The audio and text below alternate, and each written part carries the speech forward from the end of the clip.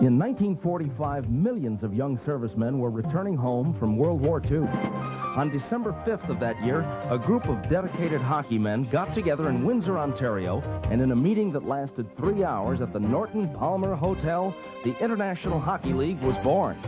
The inaugural season saw four teams play 15 games, with two teams based in Detroit and two in Windsor.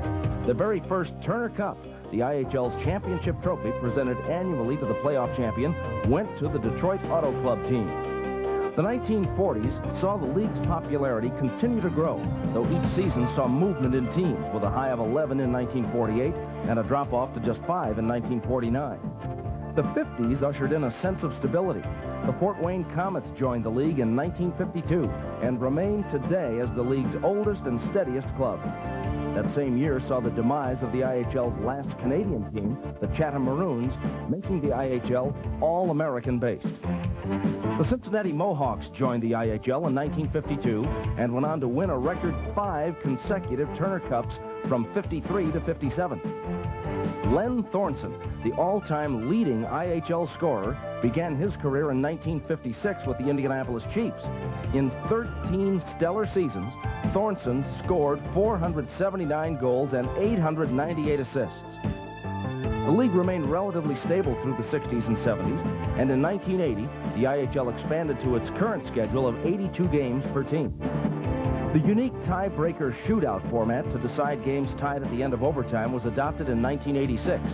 This has added even more excitement to the game as there are no ties in IHL games.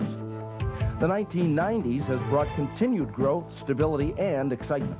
With the addition of the Atlanta Knights, the Cincinnati Cyclones, and the Cleveland Lumberjacks to the league this year, the IHL is firmly positioned in major markets from Atlanta to San Diego. Last year's attendance was over 2.5 million and looks to break the 3 million mark this year. Eight of the 12 teams are the top affiliates of NHL clubs. And the IHL has truly become an international league. With the demise of the Soviet Union, there has been a flood of Russian and European players into the league. Last year, the San Diego Gulls acquired winger Dmitry Kvartalnov, and he promptly won the IHL's MVP and Rookie of the Year awards, having scored 60 goals and 118 points. He was the top draft choice of the Boston Bruins and is now one of their leading scorers. And just to drop a couple of other names, U.S. Olympic goaltender Ray LeBlanc and the Unified Team's gold medal-winning goaltender Mikhail Shtalenkov are two more headliners on IHL rosters. The International Hockey League has come a long way from its beginnings in 1945. The IHL is one of the premier professional hockey leagues and has a bright future ahead.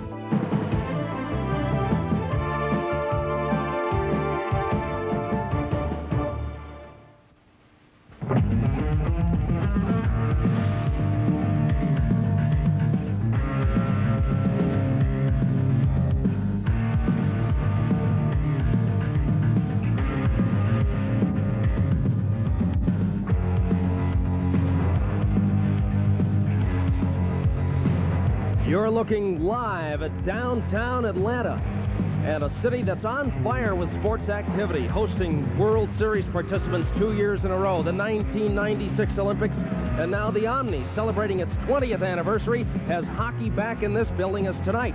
The International Hockey League's television season debuts on Prime as the Salt Lake Golden Eagles take on the Atlanta Knights. Hi, everybody, with Mike Barack. This is Ken Double, and welcome to our first broadcast of the year. It seems like yesterday we were here for the All-Star game in the Omni last year, but now we're here for regular season action and anticipating an outstanding hockey game tonight with two of the IHL's best teams. Mike, the Atlanta Knights have been playing very well and have led the Eastern Conference all year. Salt Lake's been hot lately. Well, the Golden Eagles have won nine of their last 12. The Knights have won nine of 13. Both teams playing very well in their respective divisions. And as a result, I would assume we'll have another very competitive match between the two hockey teams. The Atlanta Knights, one of the best in the East, and the Salt Lake Golden Eagles, one of the best in the West. And we'll be talking about the standings, the hot teams in the league, the hot players in the league as we go along. But we're getting set for a big night of hockey action in the Omni. We're glad you're with us on Prime Network tonight. The IHL on the Prime Network is brought to you by RCA Consumer Products, changing entertainment again. By Power Play Promotions, the official supplier of IHL products. and by American Cemwood, the wood fiber cement people. We're coming right back to the Omni with hockey right after these messages.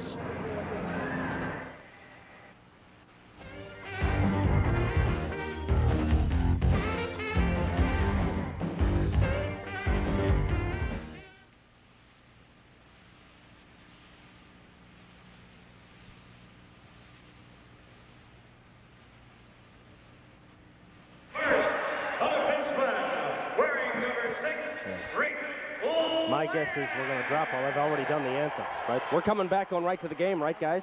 Also on defense, number 24, Sean Rivers. No way we'll have time for that preview. The uh, No. well, maybe you never know. Yeah, TV controls everything. They'll drop the puck when the producer tells them to drop the puck. right?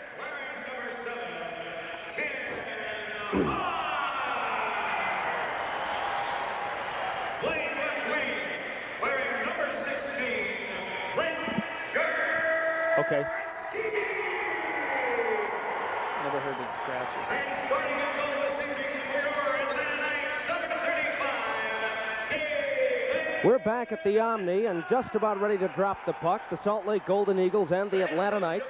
And before we get started, let's take a look quickly at the standings in the IHL. First of all, in the Eastern Conference, Atlanta has been the best team in the East all season long, right now with 40 points ahead of Cleveland and Cincinnati. Fort Wayne has really come on and been playing strong hockey of late to get themselves among what we might call the Elite Four. Mike, you've been following the teams very closely out west, and Salt Lake is trying to catch what everybody knows is the best team in the IHL, San Diego. Very competitive in the Pacific Division. Salt Lake four points ahead of the Roadrunners, but everybody knows the Gulls uh, lost another one last night in overtime and only one regulation loss. And of course, Milwaukee leading in the Midwest Division of the International League as well in the Western Conference. And Ken, let's go. We're underway in Atlanta, and the Salt Lake Golden Eagles, the visitors, in red. Atlanta, the home team, in white. And the puck controlled by the Golden Eagles right now. In goal for Salt Lake, Andrei Trefilov, an outstanding Soviet player with a 12-3-1 mark for the Golden Eagles. He's been great all year. David Littman between the pipes for the Atlanta Knights, who come to center ice for the puck. Here's Brent Gretzky, Wayne Gretzky's youngest brother. Brent's just 20. He's had a couple of good games in a row, two goals and two assists in his last two games. Now the puck here to the near side. Atlanta, for most of the year, not a real physical team, but of late have begun to bang the body just a little bit more.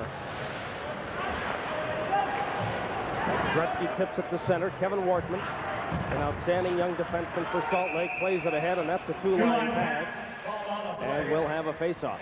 Early on, uh, tight to minute one gone into the opening period. The Eagles are the top farm team of the Calgary Flames of the National Hockey League, and Andrei Trefilov is one of their goaltenders of the future with that 2.62 goals against, second in the league in that department. The Atlanta Knights are the top farm team of Tampa Bay, and our referee tonight is Derek Martin from Chicago, Illinois, and the linesmen this evening are Patrick Berry and Jay Jacobs. And the face-off controlled by the Golden Eagles. Rich Chernomaz on the far board, number 16. Chernomaz, a Salt Lake mainstay for many years and a great player in this league for a long time. From center ice, the Knights dump it in. Early going, first period of play, in the National Hockey League action, the first of a number of games all year on the Prime Network. Darren Stolk plays the puck for the Golden Eagles, another veteran defenseman.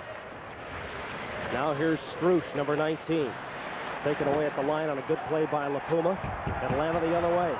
Jason Lafreniere, number 10, can't control the puck. Behind the defense, McCarthy. Sandy McCarthy getting hacked by Dan Vincelette. Now to the point, Kevin Guy. Good low shot deflected in front by Str uh, Brost, that is. And uh, a near miss there for the Golden Eagles. Shane Stevenson, number 19, just back from a broken foot. He missed three weeks with a fractured bone in his foot. This is his third game back. He heads to the bench after a short shift. Chernomaz dumps it in. And the Golden Eagles right now ranked last in the league in goals scored, and so they're going to rely on their goaltending and their defense here tonight. Offside, whistled at the line. There you see Keith Osborne for the Atlanta Knights. He is the IHL's leading goal scorer and one of the key players in this game tonight. He scored a goal last night. In fact, he's got four goals and four assists in his last four games. Started the season scoring at least a point in each of the first 20 games played by the Atlanta Knights. And uh, originally out of the St. Louis organization. He's in a free agent year. He can sign with anybody after this season and is looking forward to a big year. First round Blues pick in 1987, 12th overall that year, and he also spent parts of two seasons in the IHL with the Peoria Rivermen. Now Kevin Guy behind his own net. Loose puck played by Atlanta. Scott Boston from the point didn't get all of it. Big pump along the near boards. Kept in at the point by Rivers. And Trefilov is out, spins it to the far side. Played at the far point. There's a shot deflected in front and off Trefilov's stick. Did a good job to follow that one all the way through. And we're coming back on the IHL on Prime after these messages. By who would like to invite you to visit the Knights Canadian located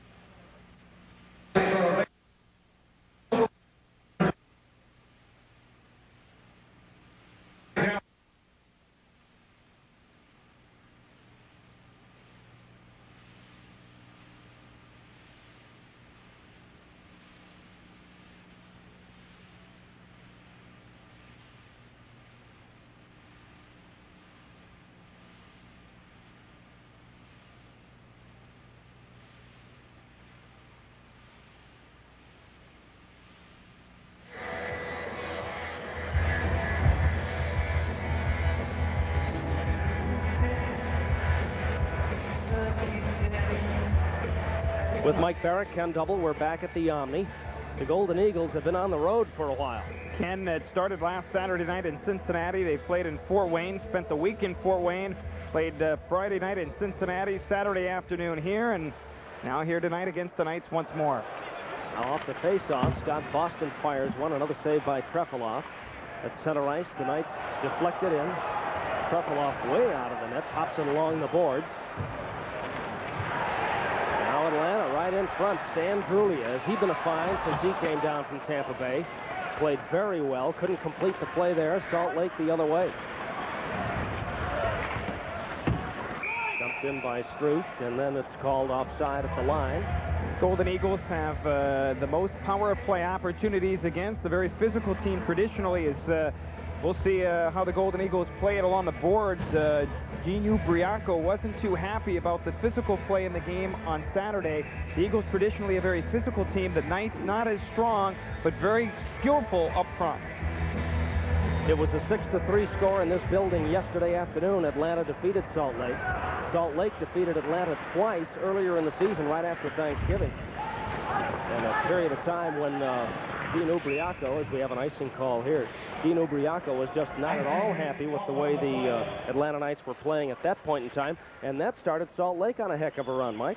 It sure did, and uh, the Golden Eagles have won 9 of 12, as we talked about at the outset, and one of their more physical players is Alex Nikolic, a rookie out of Cornell University, and, uh, of course, one of the greats of all time uh, from that school, legendary Hall of Famer Ken Dryden. No score, three and a half minutes into the game.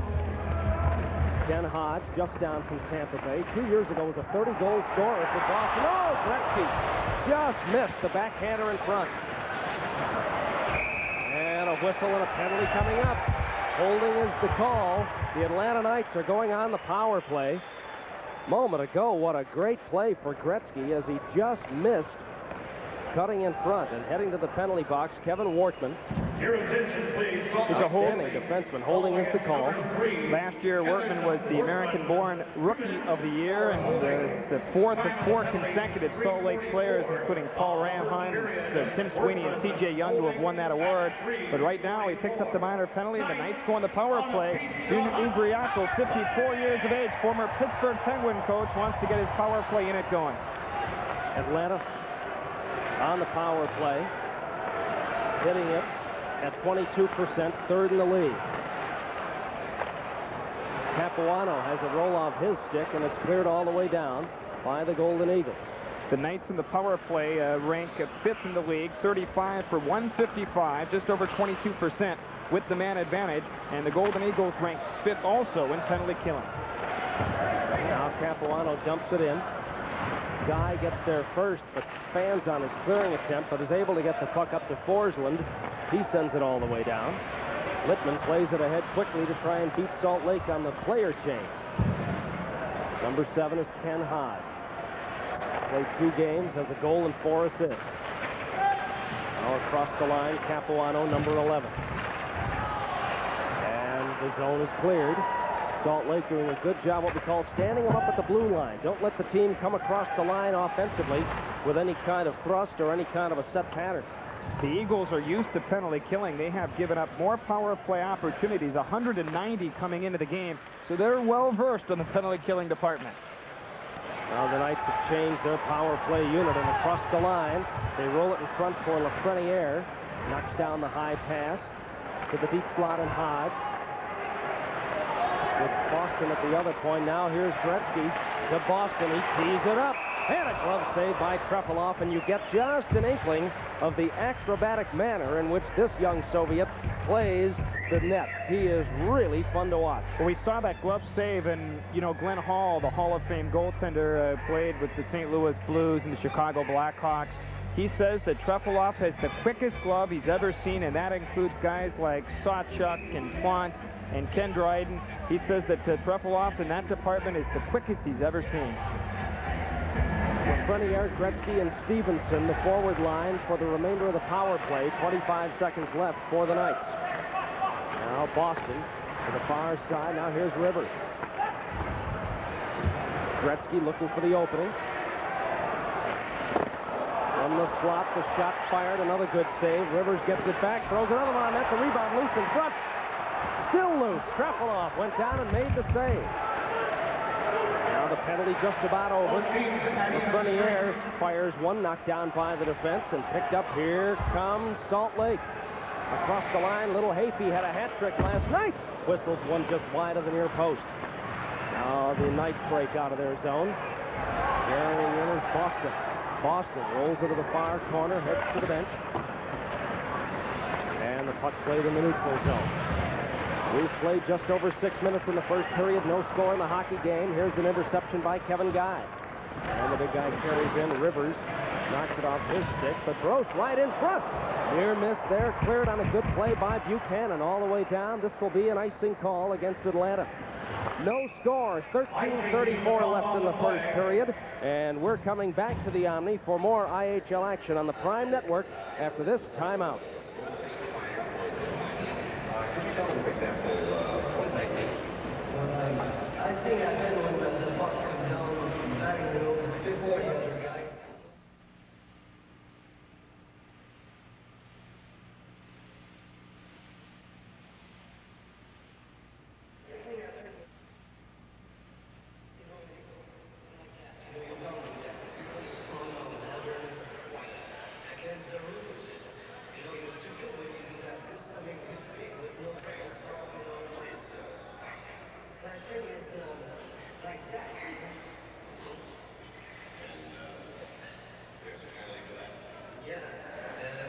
Okay, good. I want to see. I want to see who took the shot. Rivers. Okay.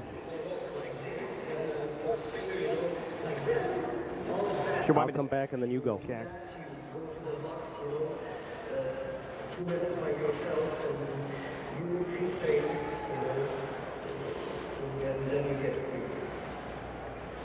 Back at the Omni and a near miss on the power play for the Knights.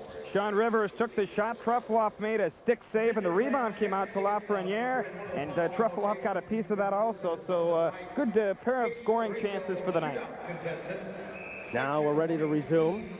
Ken Hodge, number seven, to take the face-off against David St. Pierre. Has not seen a lot of action for Salt Lake. He's in the lineup tonight with their coach, Bob Francis. He wears number 17. He scored his first professional goal last Sunday in Fort Wayne, and then capped it off with the game winner in the shootout. Littman can't play the puck behind the net. Forslund for the bouncing puck, leaves it in the corner. St. Pierre's centering pass, knocked wide. And Timmy Bergland sends it ahead. A three-sport star at the University of Minnesota. Bergland, one heck of an athlete. Wears number 29 for the Atlanta Knights. There's Bob Francis. Bob Francis, 34 years of age, the son of Emile Francis, the Cat. Of course, uh, he was coach, general manager of the New York Rangers for a long time, the St. Louis Blues, and now with the Hartford Whalers.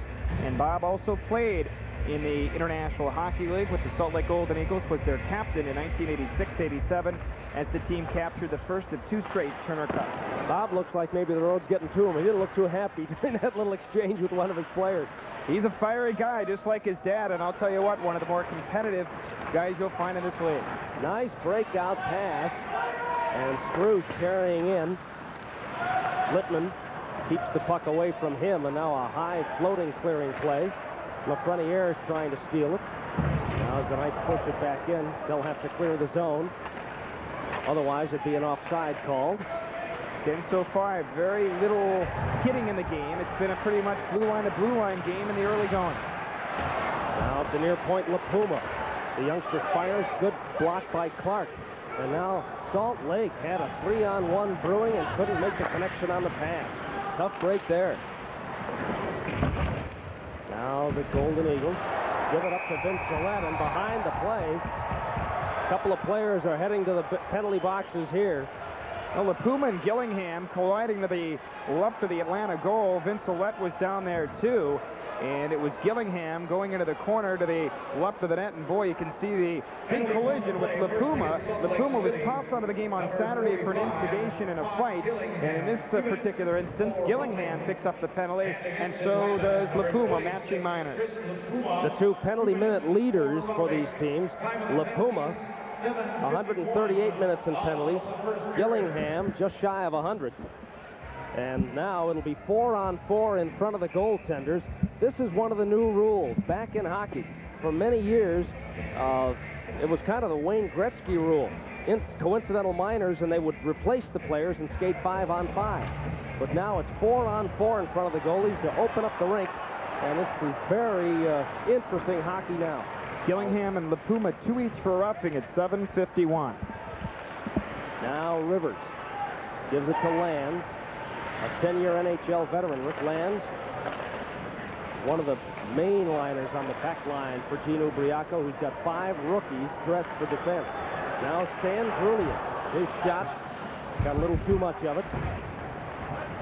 And Salt Lake clears the zone. Here's Wortman. What a great year he had last year. Great rush up the rink. It's loose in front. The rebound smothered by Littman. Right in front. Tim Harris did everything but score. And now a melee in front of the Atlanta net. Well, Kevin Wortman took the original rush and the stop was made. The puck was loose in front, and Harris came barreling in there. And then pushing and shoving develops as uh, Patrick Barry separates Harris from a couple of Atlanta players to the up to the goal. So the best scoring chance really for Salt Lake in this game. A couple of uh, scoring pops earlier, and it was Wortman who made the original play to the right of the net, worked in, the puck bouncing around in front, then Harris took the shot, Littman with a, a scoop uh, with that glove hand to make the stop. And then coming to the defense of their goaltender, that's Sean Rivers, number 24 for Atlanta. And he's a little guy. Rivers, 5'10", 185, dripping wet. Uh, but he's feisty. Littman got a shot in there also, and he uh, uh, was able to get a little bit of a glove hand in there. 11.24 left to go first period. No score in the hockey game. We're at the Omni. IHL Hockey on the Prime Network. Our premier telecast this year. We're four on four in front of the goalies for the next minute as Rivers carries in for Atlanta. Rivers leaves it in front, taken away by Thomas Forslund. Here comes Forslund, number 41. Leaves it for Melrose. A big shot and a big save by Littman. Littman, uh, an 11th round Sabres pick in 87. A good glove save on the play down into the Atlanta zone. 11 minutes left in this first period. No score in the hockey game. Both teams have had a couple of opportunities. Littman, who was called up early, he had a great start for Atlanta, was called up by Tampa Bay, and then sat for about seven games there before coming back down here. And then with that long layoff, he was a little rusty. But he's come back real strong since J.C. Bergeron now has been called up by Tampa Bay. Great season last year. 29 victories in the American League. Was the best goaltender in that uh, league last season. Now here's Hodge. A little room at center ice. Hodge playing in his third game for Atlanta. Blisters a shot. The rebound. Oh, Boston was there for it and couldn't get a stick on the puck. Well, Andre Trefilov again with the reflexes in front of the Salt Lake goal and uh, was able to pounce on top of the loose puck. He ranked second in the league in goals against. The only goaltender with a better average, Rick Knickle, the San Diego goals. And again, the uh, Knights worked in. It was Hodge and across the line, worked against Stolk and then took the shot. Trefilov makes the save. The rebound comes out and he makes the second save also on the player cutting in, Scott Boston, and another couple of sequences of saves for the Salt Lake goaltender. Now the Knights win the draw. 30 seconds still to run on the coincidental minor penalty. We're still four on four on the rink. Hodge battling Stolk. A couple of veteran players there. Hodge comes away with it. Stolk runs him into the boards. Hodge kicks it cleverly to Osborne. Couldn't get around Wortman. Wortman, an outstanding defenseman. Wortman uh, last year, as mentioned, had a tremendous offensive season and actually played at the All-Star game right in this building here at the Omni last year. And, of course, the penalty now is expired, and the teams are at even strength right now, five on five. Salt Lake dumps it in. The Knights played it on the far side. Kept in front for Forslund. Now there's one right in front, a near miss there for Clark. Forslund keeps it alive, but then the Knights clear the zone. Kerry Clark having a scoring chance. He's the younger brother of the Toronto Maple Leafs, Wendel Clark. Rick Lanz with a puck at his own line, feeds it ahead for Vincelette, and now LiPuma. Vince Gillette just traded by Tampa Bay to Philadelphia for Steve Kasper. And uh, the Philadelphia organization has said, Vinny, you stay down here with uh, Atlanta, and we'll figure out what to do with you later. Their farm club, Hershey, has a whole bunch of people. We've got another penalty as players push and shove behind the net. It all started with Clark and the Pumas. The puck was coming up the left wing side of the Atlanta zone, and all of a sudden, back of the play, we uh, had the two combatants into the Atlanta zone. We'll announce the penalties when we come back. No score at the Omni on the Prime Network's telecast of IHL hockey. Back in a minute.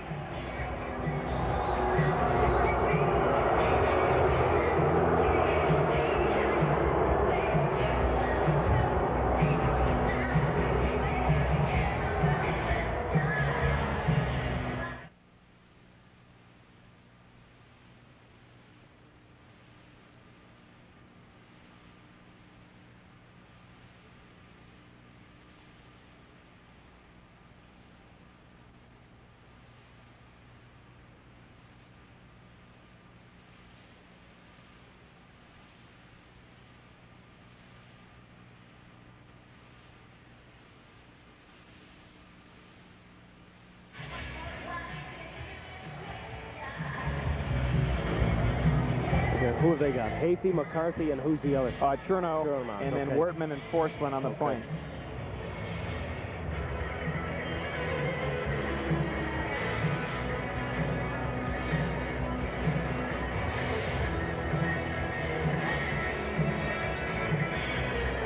Back at the Omni, Chris LiPuma for the Atlanta Knights.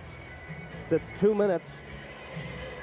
Yeah, he draped down Kerry Clark as Clark was barreling into the Atlanta zone and uh, picks up a holding penalty at 10:43. And as a result, Salt Lake will go on the power play, and they're last in the league in that department with only 20 power play goals. And the Knights have a pretty decent penalty killing. They're only uh, fourth in the league in that department. Although Salt Lake, despite their troubles on the power play, got three yesterday here at the Omni in four attempts. and all three by Sean Heaphy. So that made it even more interesting because of the woes that they've had with the man advantage this year. Now the Knights, Stan Drulia is doing a good job to drag a little time on this penalty.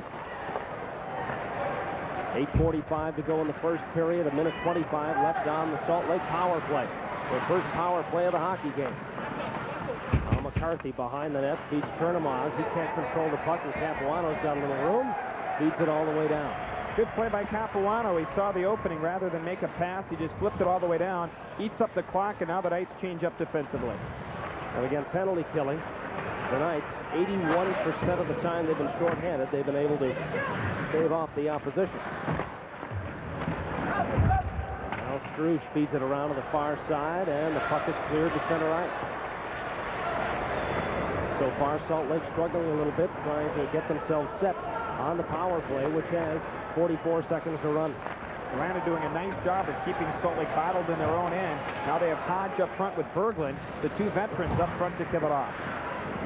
David St. Pierre rolls it in across the line, but it's taken away by Rivers. He sends it all the way down. There's a long pass ahead for Gillingham. Big guy dumps it in. Clark trying to make the play. Kept alive by Guy. Kevin Guy has the puck taken away, but not cleared by Boston. Ten seconds left on the power play. Battle for the puck in the corner. Gillingham centering pass taken by Lafreniere. And LiPuma is out of the penalty box. Here's a two-on-two. Long shot by Vincelette. Bad save by Trefilov. No real good scoring chances for Salt Lake with the man advantage. The Knights did a terrific job in the penalty kill. Lafreniere with an open net. Couldn't find pay dirt. Went down early, but Lafreniere couldn't get it home. There's another shot knocked down by the defense. Now Atlanta buzzing the net. Penalty coming up on the Golden Eagles, and there's the whistle.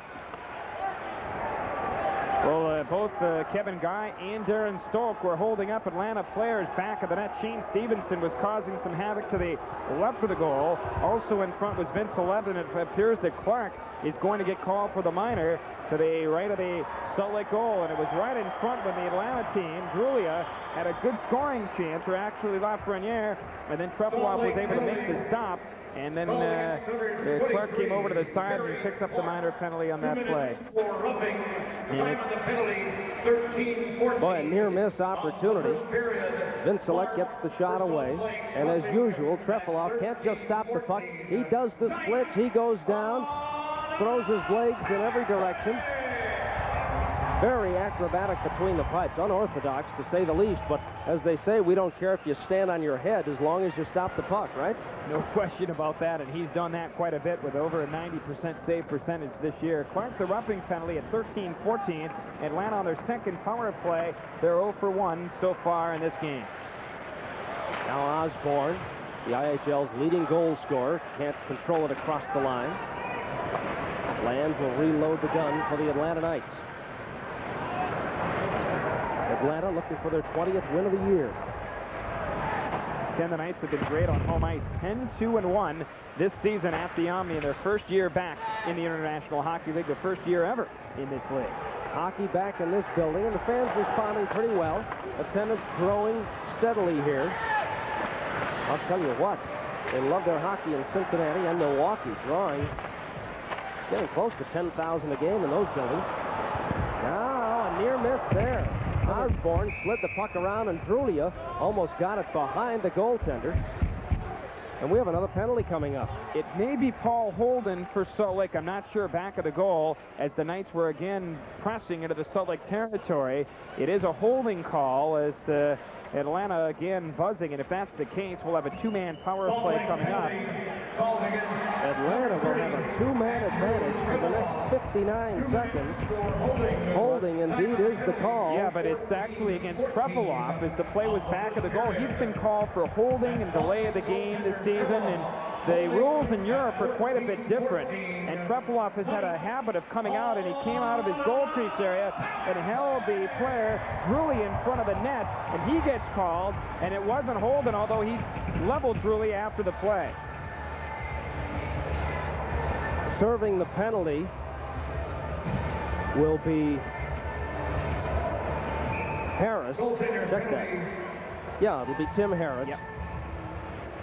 Yeah, Trefilov also has been called a couple of times for delay of the game for freezing the puck outside the crease. And in the International League, uh, you're not allowed to do that. In pro hockey over here, over in Europe, you're allowed to hold the puck outside that goal crease. He's been called for that a few times as well. Now the Knights roll it right in front. Atlanta trying to jam it home. Lafreniere couldn't get the job done. A two-man advantage for the next 40 seconds. 20 is Stan Drulia. 10 is Jason Lafreniere back to Drulia. To the deep slot. Hodge, a one-timer save. The rebound popped up in the air. Loose in the slot. Lafreniere trying to jam it home. Finally, it's underneath the goaltender. Trefilov able to make the save with his team two men down. The Atlanta Knights two-man power play will continue after we take time out on the IHL on Prime. Every Monday night from 7 to 8 o'clock on AM 680 WCNN, Coach Ubriaco will talk hockey, visit with guests, and take your calls. Fans, great seats are still available for upcoming night's game. And if you need more information, stop by the night customer service booth at Portal 45 or visit the Omni Future event window located at Portal 2. And finally, fans, the Atlanta Knights are sponsored by the Greater Atlanta McDonald's oh, Restaurant, who remind you what you want is what you get at McDonald's today.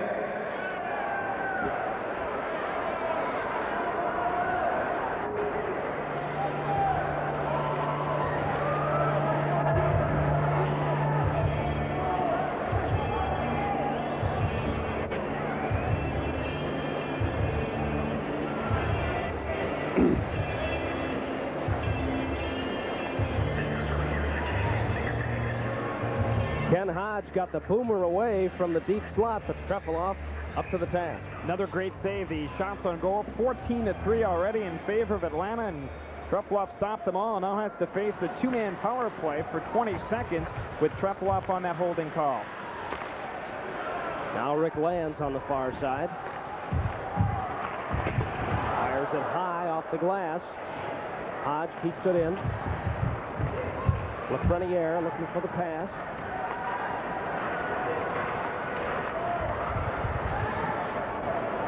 Clark is back on. It's now just a one-man power play, but still another 57 seconds to work for Atlanta. Drulia. Lanz. He had a lane to the net. Fired, but Trefilov made the save. Back to Lanz. Now Lafreniere. Trying to break this scoreless tie. Atlanta on their second power play of the hockey game. Great puck possession for Atlanta on this power play, but not too many opportunities, although the puck possession is terrific. This is what they do. There's a good pad save on a shot by Drulia. They don't they don't take a lot of shots. They try and make the perfect pass. Trefilov, very active, out to clear that centering pass. The Lanz has had the most chances. Hodge just missed the far post. And the Knights reload at center ice with just five seconds left. So the Salt Lake Golden Eagles got the job done and kill off the two-man disadvantage. The penalty box is empty. We're back at five on five in front of the goaltenders. As mentioned, Ken, uh, Ken uh, Salt Lake, uh, a lot of uh, experience this season in the penalty kill department. By far, a differential of 48 more power play opportunities for the opposition than they've had offensively. And as a result, they've gotten pretty skilled at killing off penalties. Their goaltending's been pretty strong as well. Now Rivers throws a long one on net, and Trefilov sends it all the way down. This will be an icing call. Maybe he thought they were still short-handed. Now we've got three minutes and 12 seconds left in this first period, and we're coming back to the Omni for more of this game featuring the Atlanta Knights and the Salt Lake Golden Eagles on Prime.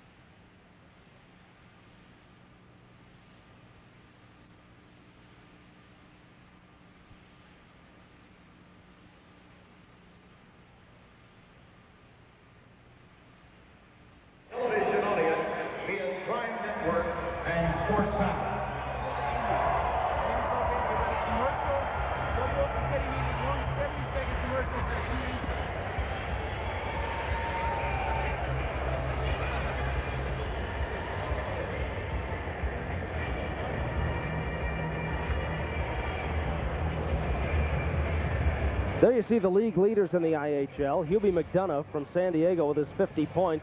Keith Osborne of Atlanta is second with the most goals in the IHL at 21. Osborne, uh, as you mentioned, uh, scored a goal yesterday and has been off fire, on fire all season long. And uh, acquired by the Tampa Bay Lightning in the expansion draft this past summer. And now the puck played all the way down. We're going to have another icing call. 3.04 left to go in the first period. No score in the hockey game between Bob Francis's Salt Lake Golden Eagles and the Atlanta Knights coached by Gene Ubriaco, who has been around. Ubi has been around forever. He sure has, and in fact, uh, actually played a game in the old Western Hockey League when he was 19 years of age against Bob Francis's father, Emile the Cat, who was a goaltender in uh, Spokane, and Junior Ubriaco 54 years of age and has uh, coached a myriad of different teams in the Central League and the Eastern League and also the IHL. Started with the Milwaukee Admirals. He was the first coach of the Milwaukee Admirals in this league back in the 70s. Last year, two years, coached the uh, Italian national team, coached in the Olympics, Capuano, number 11, on a great rush up the rink and a near-miss opportunity. Salt Lake clears the puck. Osborne's deflection at center played into the Atlanta zone. Melrose dumps it in behind the net. Don Rivers with Salt Lake forechecking. And they get the puck. Paul Holden at center ice. Flips a high one in. Rivers has a player on side and a bouncing puck. Timmy Bergland couldn't connect. Takes a big bump from Holden. Scramble along the far boards.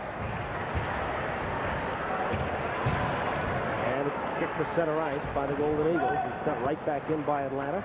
Inside two minutes left here in the first period. Game's getting more physical on the boards. The first 10 minutes or so, very light. It's now picking up as far as the physical play is concerned. And so often, not that it's got to become dirty physical play, just just more physical. Get a body on a player, and that can ignite a team so well. Now very, fairly clean, oh, except right there, a holding call, I believe, in front. It may have been Kevin Guy holding the player in front of the net, Vincelette. We'll see if that's the call. There were some other players involved, and Paul Holden skates to the penalty box also. So it looks like he'll be the guilty Eagle, and Atlanta will have another power play, their fourth opportunity here in the first period. And it was uh, Holden just hauling down Hodge as he worked right into the Salt Lake zone. Good move by Hodge, and Holden didn't have much of uh, a choice in the matter with Hodge headed toward the net. Yeah, it was a good scoring opportunity for Atlanta. And the Knights have, with the advantage on the man power plays here in the first period, have had the bulk of the puck possession into the Salt Lake zone. Now Stevenson, 19 on the left wing, Lafreniere at center, and now Jean Blouin, number 23 on the ice for the Knights on this power play. Lafreniere to Stevenson. To the deep slot, high. He can fire the puck. Now Lanz. Ooh, that one almost got through. It goes to the far side. Wortman's going to get there first, but he can't clear the zone. The goaltender does. Good play by Trefilov as Lanz couldn't keep the bouncing puck in at the blue line. Twice he's played the puck outside the line, once for the icing. This time in a penalty kill situation, Trefilov himself able to clear the zone. Now it's center ice. Good play by Gross. Yep, able to clear the puck. And now here's Hodge with a rush up the rink. Drop pass to Frenier, knocked down by the defense. It never got to the goaltender. Near miss for the Atlanta Knights and a great play by the Salt Lake defense. A great rush up the rink by Atlanta. And the Eagles are able to clear the zone once more. It's now Chernomaz and Struch up front to kick it off. 45 seconds on the Atlanta power play. Jean Blouin.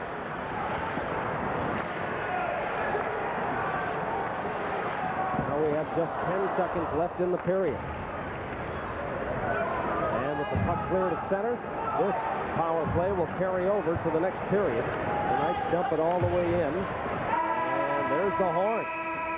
So the first period is over. It's scoreless after the first 20 minutes.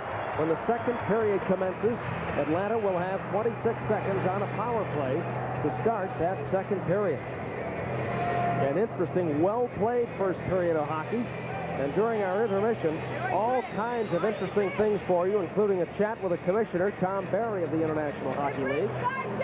Interesting features to pass along as well, including a look at Manon Rhéaume. And we'll have all that for you and more as our telecast from the Omni continues. We'll be back with our first intermission after we take this timeout. You're watching IHL Hockey on Prime.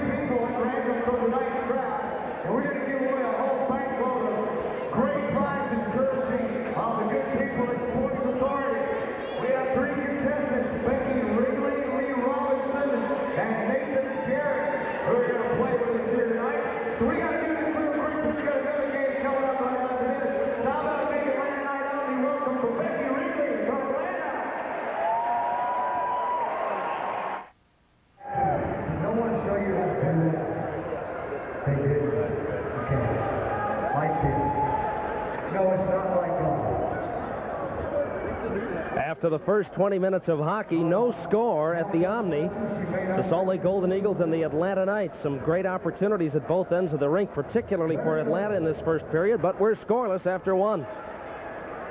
Hello again, everybody. This is Ken Double. And joining me during this first intermission, the commissioner of the IHL, Tom Barry. And Tom, I know there are so many things that you're thrilled about as far as this International Hockey League is concerned, not the least of which is national television exposure with Prime. Well, it's great to be here in Atlanta and have this production going on. The Prime people are doing a wonderful job, and we're really thrilled that they're able to pick it up and carry it across the country because our brand of hockey is indeed superb, and we're delighted that this opportunity is here. And it's only the first of many, so we're looking forward to many more like this. Indeed. And for you fans who may not be real familiar with IHL hockey, this is a league that's been around for a long time, some 40 years plus. But it's had, as a league, its ups and downs, and certainly on an upswing lately, Tom, from a league of players on their way down to a lot of unnecessary physical type of play, goon hockey, if you will, to now major affiliations with NHL teams and great young talent on its way up. Well, we're very fortunate. The league is entering its 48th year this year, and you know, for about 40 years, it pondered along as a pretty good uh, amateur league for the players to play out their careers. But in the last seven or eight years, thanks to the good work of Bud Poile, our previous commissioner, and others of his ilk along the way, have all made it possible that we have such a great effort today by the young players and the teams that are affiliated with our clubs, and it all is breaking into one heck of a great hockey club, so uh, league. So we're very pleased that this thing has happened. Outside of teams like Fort Wayne that's been around since 1952 and Kalamazoo and Peoria, some teams in some of the smaller cities, the other thing that's been spectacular is the growth into major markets for this uh, league. Well, we've been very fortunate. We have a good group of owners that have brought in the expertise that they have in marketing in many areas and brought it forth so that the game of hockey could become a reality in a lot of the major cities. And fortunately for them and for us and for everybody, the spectators have taken well to the game. So we've got a tremendous effort of people who enjoy enjoy the game of hockey being brought to major league cities. They no longer have to watch it only on TV, when and if it ever was there. So we're very thrilled with this part of our efforts, too. Well, the expansion, too, into Cincinnati and Atlanta and Cleveland.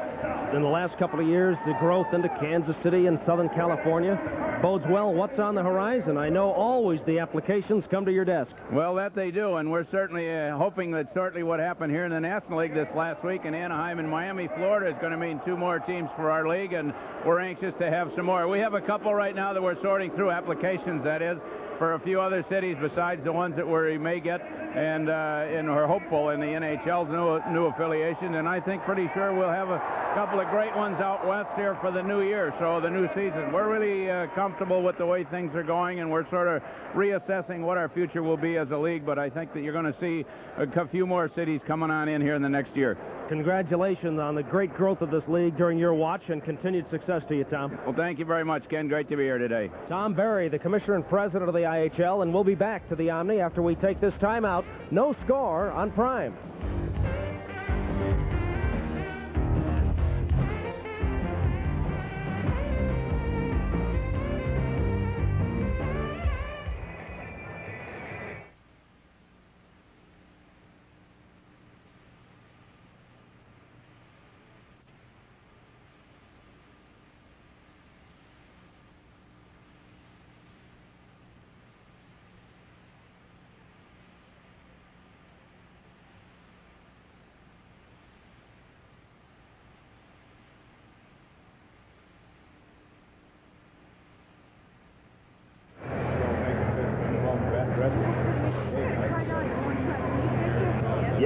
Oh, yeah, okay, I got you. Hello. Okay.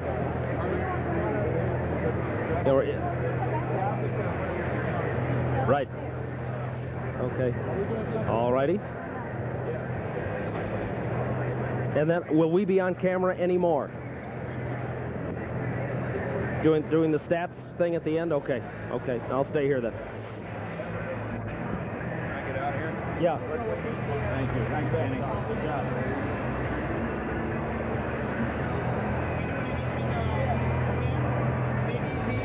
A little later on, yeah, you're coming here.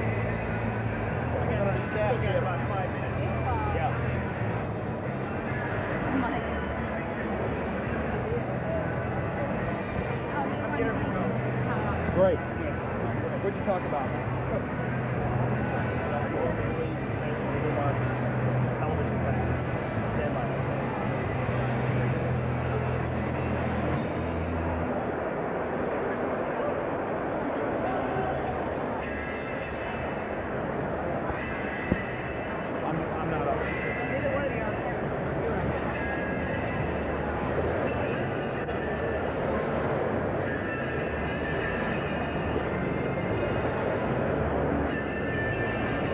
No score after the first period of play in our game at the Omni, the Salt Lake Golden Eagles and the Atlanta Knights. One of the most intriguing stories in the IHL all season long, the road to hockey stardom for Manon Rhéaume, the female goaltender.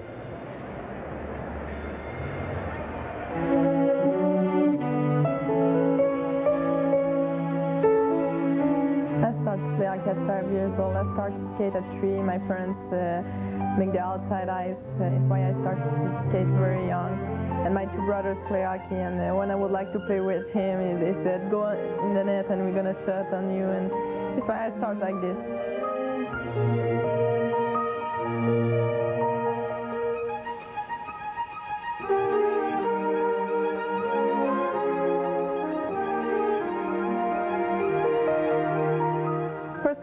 Me, it's not important to be the first woman. Uh, the fact is, I'm the first woman, and uh, if they can help other women, I think it's good. Uh, because when I was young, I never seen a woman uh, at this level, and it's why I never think to go higher. And sometimes when I have some problem because I'm a girl, I, I was discouraged, and uh, sometimes I think to stop. And it's why now, if they can help other women to continue to play, or if they can help other men too, if uh, some um, said, if a girl can do this, I can do this, I think it's good too.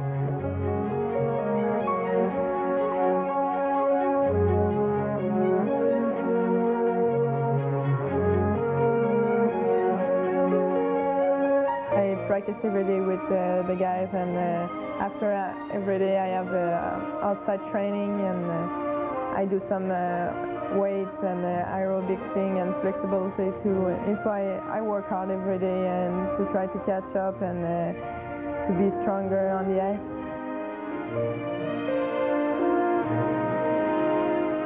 So when I was young, uh, one of my favorite goaltenders uh, was Daniel Bouchard. He played for uh, Quebec Nordiques, and now I have the chance to meet him because he lives in Atlanta. It's good to uh, meet him. Think I have a lot of pressure for this game. I don't have to put more in my uh, shoulder when I said it's an NHL game. I just think uh, to do my best and to concentrate on the game. And uh, I was very nervous uh, before the game, but when uh, I go on the ice, uh, I feel good.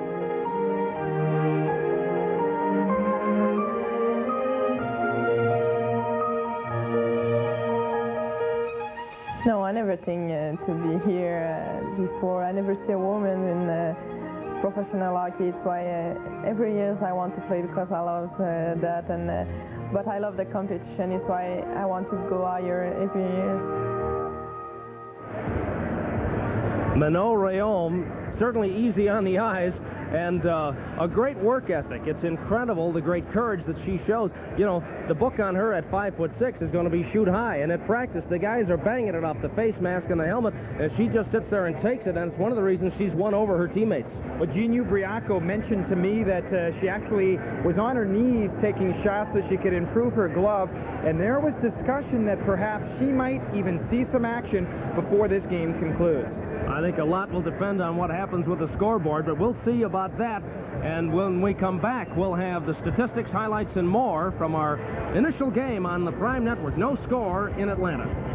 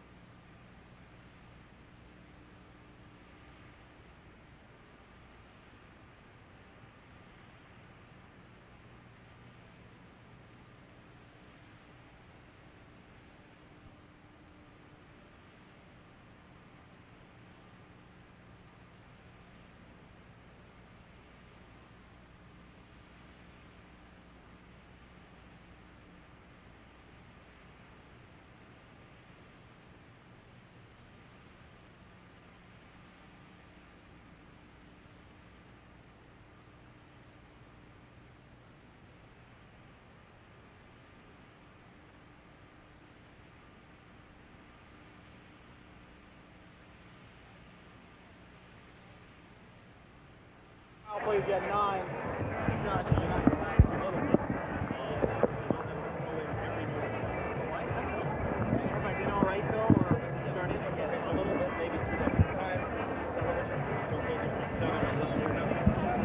Hello.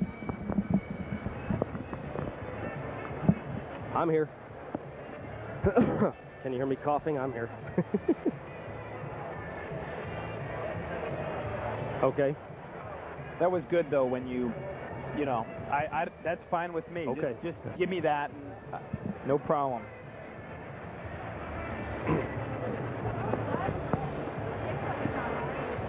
Our next telecast on the Prime Network will be Friday night, December the 19th, Cleveland at Cincinnati. Available on most of the Prime affiliates around the country. We're looking forward to that one. And we're looking forward to second period action here. Although I'll guarantee you the Golden Eagles, maybe not for this fan, who's obviously an Atlanta fan, the Golden Eagles want to see a little less of this and more offense for their side. 17 to 3 shots on goal led by Atlanta. Ken Hodges shot, and uh, got a piece. The rebound with Lafreniere in front. He stops that one, too, and then covers up. And the Knights outshot Salt Lake, as you talked about, 17 to 3 in the opening period. And again, uh, the Knights worked right in on goal later in the period. on this play. Good play by Lafreniere. Better play by the defense to keep that from getting on net. Then Stevenson gets it to the point. And a good shot there, and Trefilov, as always, very active in front. Then later in the period, a good chance for the point by Rivers. The puck came out in front. There were a lot of rebounds in that opening stanza. And then a, get, a backhand by Lafreniere, and he stops that too. So three times in the first period, Jason Lafreniere has had rebound opportunities for the Atlanta Knights. But when you have 17 shots, you're going to have a few rebounds. We're coming back for second period action after this timeout. Uh, the IHL on Prime.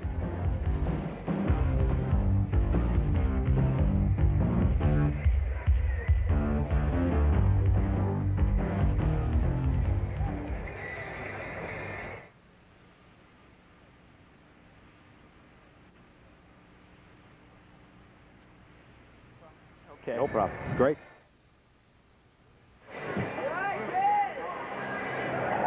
Ladies and gentlemen, for the second period, your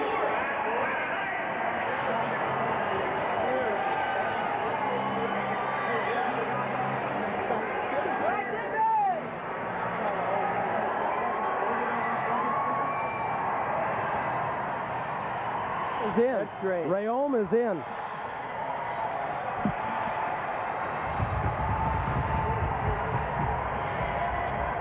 Wow. he did it. Ooh.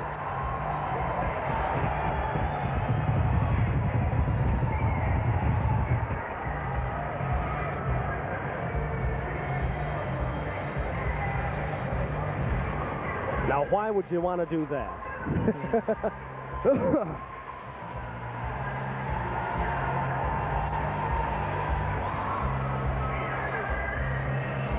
Heaphy's laughing. Heaphy's smiling.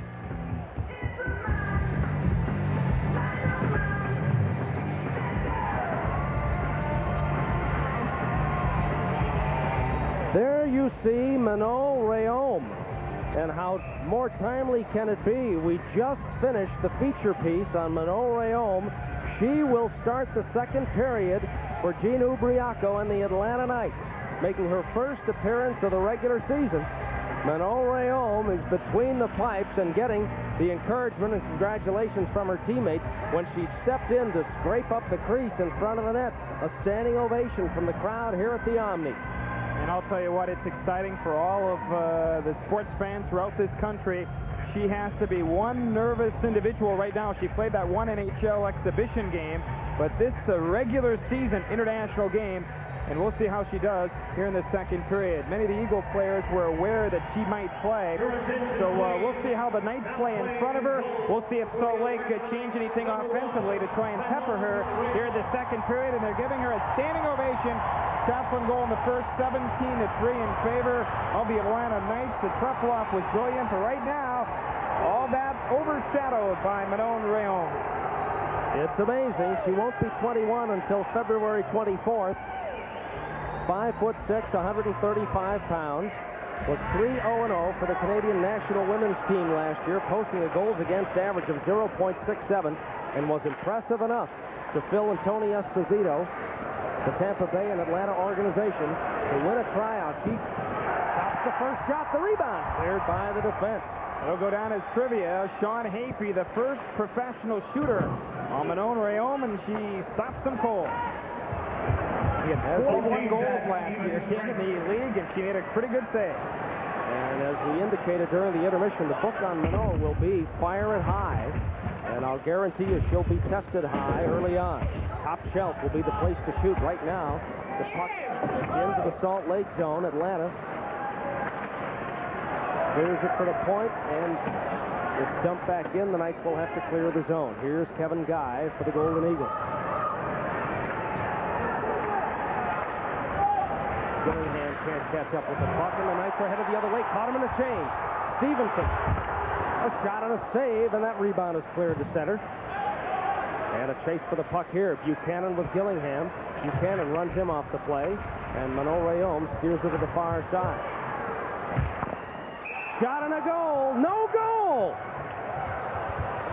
Yeah, Kevin Wortman left the shot. Gillingham, I think, may have had his stick above his shoulders. It was deflected. We'll see if that's the reason. It Derek was a high Martin. shot. Derek Martin is saying no goal, and instead a penalty coming up for interference called against Gillingham. The Atlanta Knights get a break as Derek Martin calls an interference penalty and waves off the goal, and he called it immediately.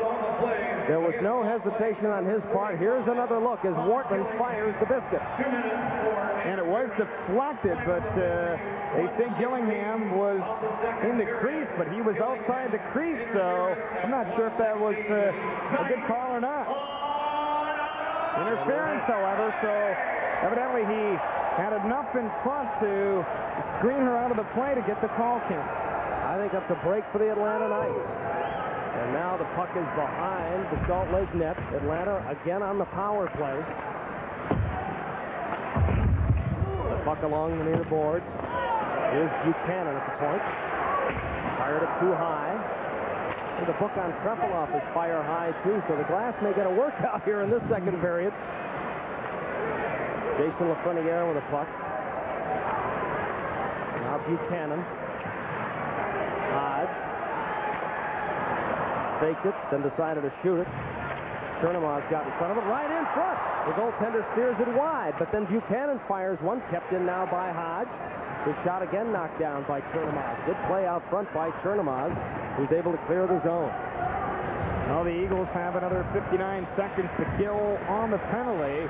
Just one shot so far, except for the goal that was disallowed on the 20-year-old Manon Rhéaume. Now the puck carried to center ice. Drulia has it knocked off his stick, and Rivers has it. Now the Golden Eagles able to clear.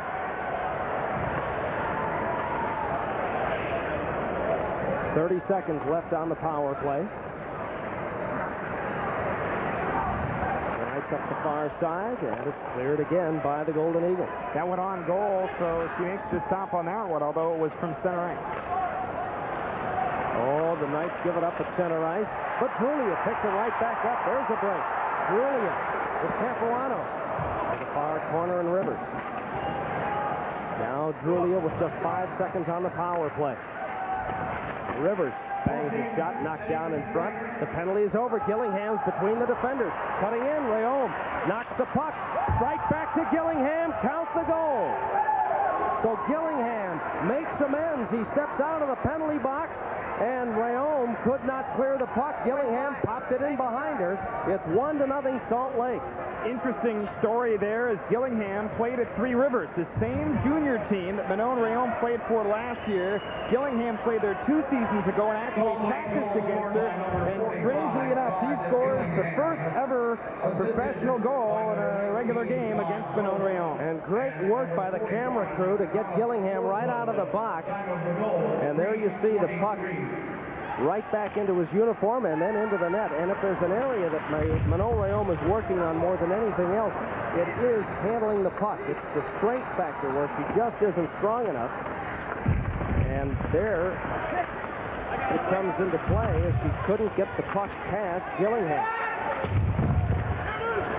Now, Salt Lake putting on the pressure. Atlanta able to carry to center. Here's Bergland. Jimmy Bergland across the line. Rolls it into the corner. Trefilov out. Played along the board. Trefilov way out. Bergland has it. Here's uh, Hodge, rather. Boston, his shot deflected wide. LiPuma fans on a play, and it's at center ice, played by Timmy Bergland. And now we've got whistles, and again, LiPuma getting into it at the far side.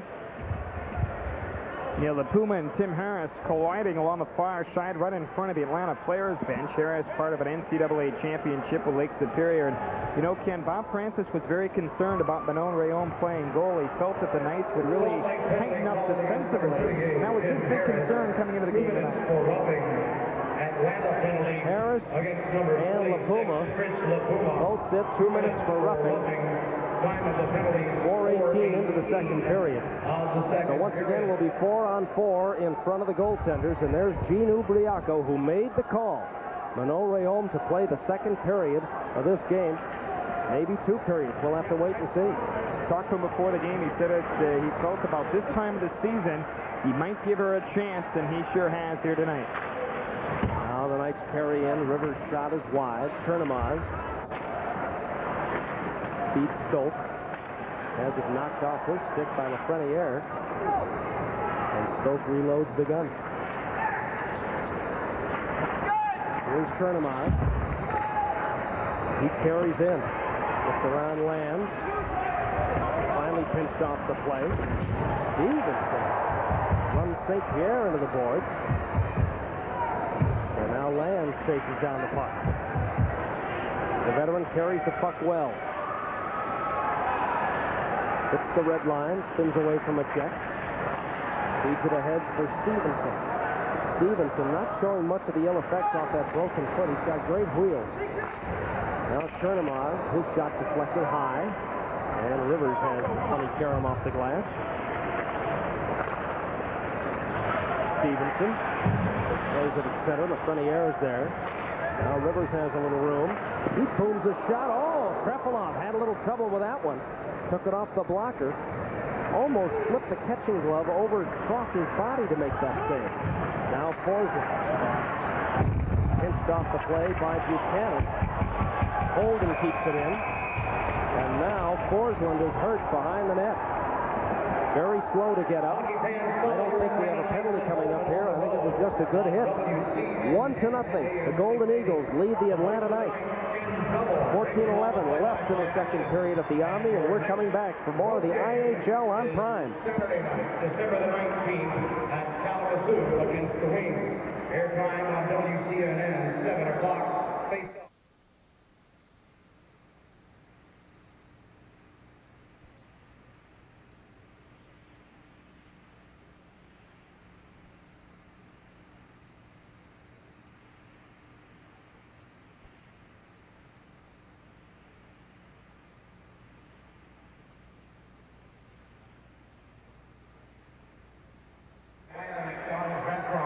What you want is what Did they take her out? Today. She's back. Your attention, please, Mr. and Mrs. Clifford Williams. Mr. and Mrs. Clifford Williams, please meet your party in section 108.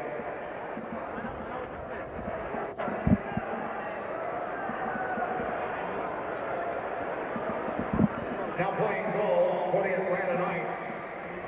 Number 35, David Littman. Buchanan got the stick up a little bit on Forslund. Got away with it. No penalty called. And Manon Rhéaume is back to the bench. Well, So Gene, Gene- Gene apparently uh, saw enough in almost six minutes of play in the second period. Mixed reaction from the fans as David Littman is back between the pipes for the Atlanta Knights. That surprised you, Ken, that uh, he lifted her so quickly? Well, actually, it surprised me more that he played her in the first place. But uh, that's all right. Gene's the coach and uh,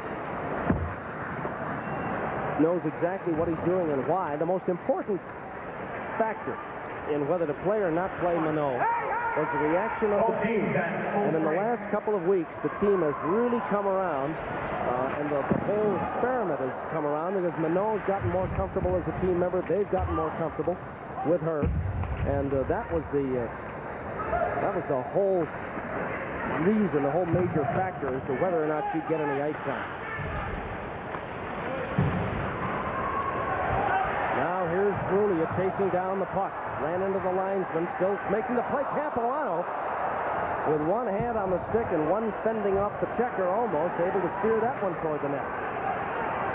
One to nothing, the Golden Eagles lead. There's a trip at center ice, and there's the whistle. Penalty coming up on Atlanta. They're going to call it a roughing call, not tripping. And so Salt Lake, with a one to nothing lead, will have the power play.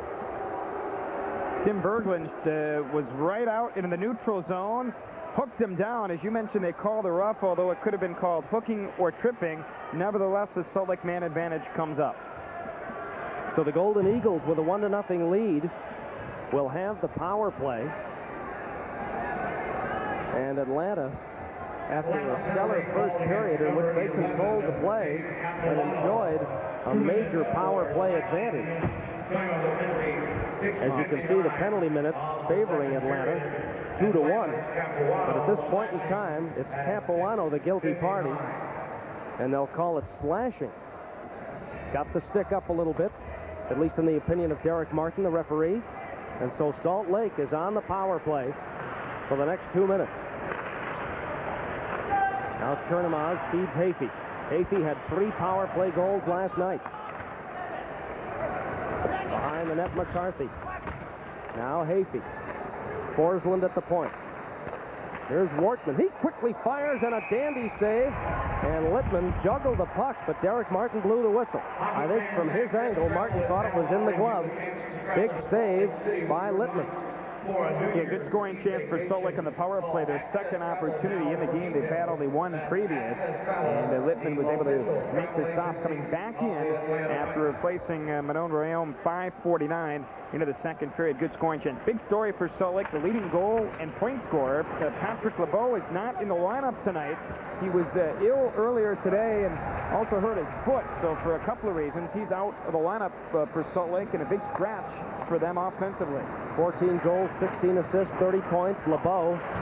Well, they give up the puck, and Drulia trying to make a play. Short-handed the Knights with a chance.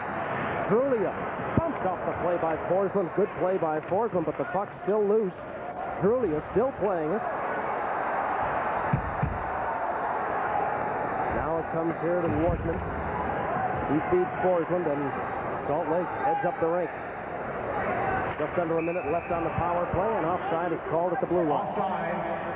Salt Lake. Well, the Golden Eagles having a scoring chance in the power play. And the captain, Rich Chernomaz, we will talk to him at the tail end of the period. He's approaching the franchise record in games played and points. Last year, he broke the franchise record set by Doug Palazzari, who played with the St. Louis Blues of the NHL, and goals scored. So approaching the all-time games played and scoring championship, and that's set originally by Lyle Bradley, a long-time player in the Central League and the old Western Hockey League. Salt Lake bangs the puck in. A centering attempt taken away by the Knights, and they flip it into the crowd. You mentioned during the intermission we'll be chatting with Chernomaz. We also have a feature on Derek Martin, the referee. He's in the NHL training program, has been in the IHL for a few years. Could break ground as the first black NHL referee. And we'll talk with him about that and a number of other things and a most interesting feature put together for the second intermission. Good referee. The main thing he does, he knows how to keep control of the game, and he plays it evenly. Blows the whistle or doesn't blow the whistle, depending on the play of the game and the flow of the game. Born in Chicago, followed the Blackhawks growing up. And keeping tabs on this one right now. The Golden Eagles on the power play for another 30 seconds. St. Pierre. Stolk back to St. Pierre. He fires on a goal. I think that's Gillingham again on a deflection. If not, it belongs to St. Pierre, who got it between Littman and the post on the near side. And it's two to nothing. And the Golden Eagles, who have been struggling on the power play, have four power play goals now in their last two games. One of the few players from Newfoundland, Labrador City, and Gillingham's excited about it. He hopes his family is watching there on the satellite, but I'll tell you what, uh, I believe he deflected that as St. Pierre let go the big drive. He was there, got a stick on it, I'm sure. In fact, that shot might have been going wide. Here we'll have another look. St. Pierre let it go, and I'm fairly sure he got that stick on it and beat him to the stick side. So give credit to Gillingham for the goal. And the puck is back in the Atlanta zone. The Golden Eagles with a 2 to nothing lead here. They lead the Atlanta Knights in the season series two games to one. Now Atlanta breaks to center. Drulia across the line onside for Capuano. Kept in by Osborne. Rolled in front. Trefilov steers it back in front. Cleared the center. Nearing the halfway point of the hockey game. Ten and a half minutes to go in the second period. The Golden Eagles by a deuce. Capuano taken down, no call. Osborne to Rivers. He lets fly the wrist shot, loose in front. Steered to the side by the defense, and a penalty coming up. Another holding call will have the penalty after we take this timeout. The Golden Eagles have scored twice in the second period. This is the IHL on Prime. Penalty called against number five, Kevin Melrose. Two minutes for holding uh, time on the penalty, 9.41 of the second period. Melrose holding at 9.41. Knights.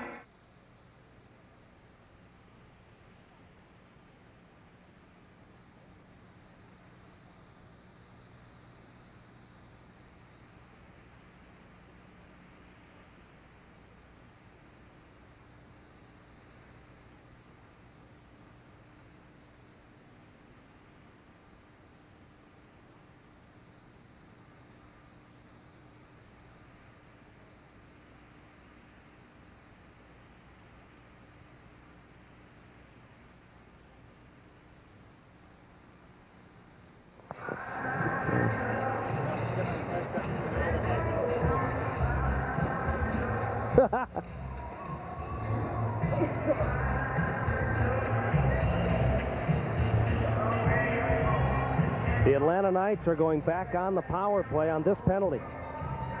Well, Kevin Melrose just knocked Capuano flying to the ice in front of the Salt Lake net, held him prior to that, and then gave him a little glove sandwich to boot and picks up the holding penalty. Time of the infraction, 9.41, the sixth power play for Atlanta. And they are 0 for 5 in this game so far with the man advantage. Shots on goal, 23 to 8 in favor of the Knights, and believe it or not, they trail 2-0. Well, the Knights have controlled the puck well on the power play, but have not uh, generated any scores at this point. Now Rivers to the far side. There's a booming shot. Save the rebound. Still loose in front. Clear to the side by the defense. Once again, the Atlanta Knights do everything but score. The Salt Lake defense right there for their goaltender Trefilov. Well, I think Trefilov was the first line of defense on the first shot, I believe, by Gretzky. Then they were able to clear it away in the second chance, but he made a dazzler on the initial shot into the Salt Lake zone. Now Gretzky's pass knocked wide and cleared by the defense. Shots on goal strongly favoring Atlanta, but as it is so often, the opportunities have gone to Salt Lake. Nice move by Lanz away from a check. Got Gretzky on his left. Now Rivers to Gretzky to Lanz. Stevenson in front of the net. Hodge behind the net, and a pass to the point. Nobody home. And the Atlanta fans react negatively. Reloads the gun from the safety of his own net. And Rivers. There's a long one off the glass. Trefilov steers it all the way down. He's made 24 saves to this point and twice has cleared it all the way down. He acts as a third defenseman in his goal crease.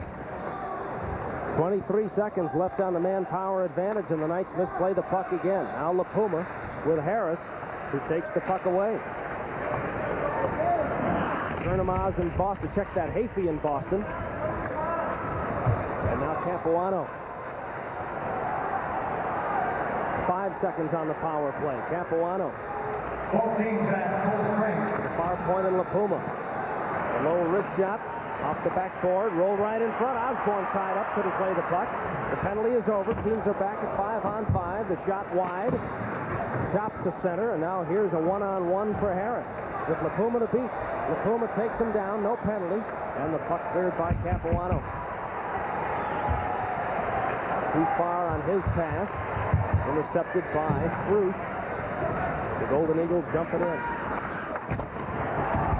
Penalty coming up here. Littman got hit. Gillingham was behind the play. He hit Littman. He's going off. And to the defense of the goaltender, there go the Atlanta Knights. There could be more penalties coming up here. No question, Gillingham just ran over Littman as he came out of his goal crease area. You know, it's funny, uh, they had talked about if Manon Rhéaume came in with the players run her, nobody talked about Littman, but Gillingham came charging in like a freight train to the side of the goal as Littman went to play the puck. Now Littman kind of made a move back in toward Gillingham to make sure he couldn't play the puck, and Gillingham just kind of let him have it. And now LiPuma is going off. He's going to get a roughing penalty. There's going to be a cross check, I am sure, on Gillingham here in period two. We'll check all the penalties out when we come back. It's 2 to nothing, Salt Lake City at the Omni. This is the IHL on Prime.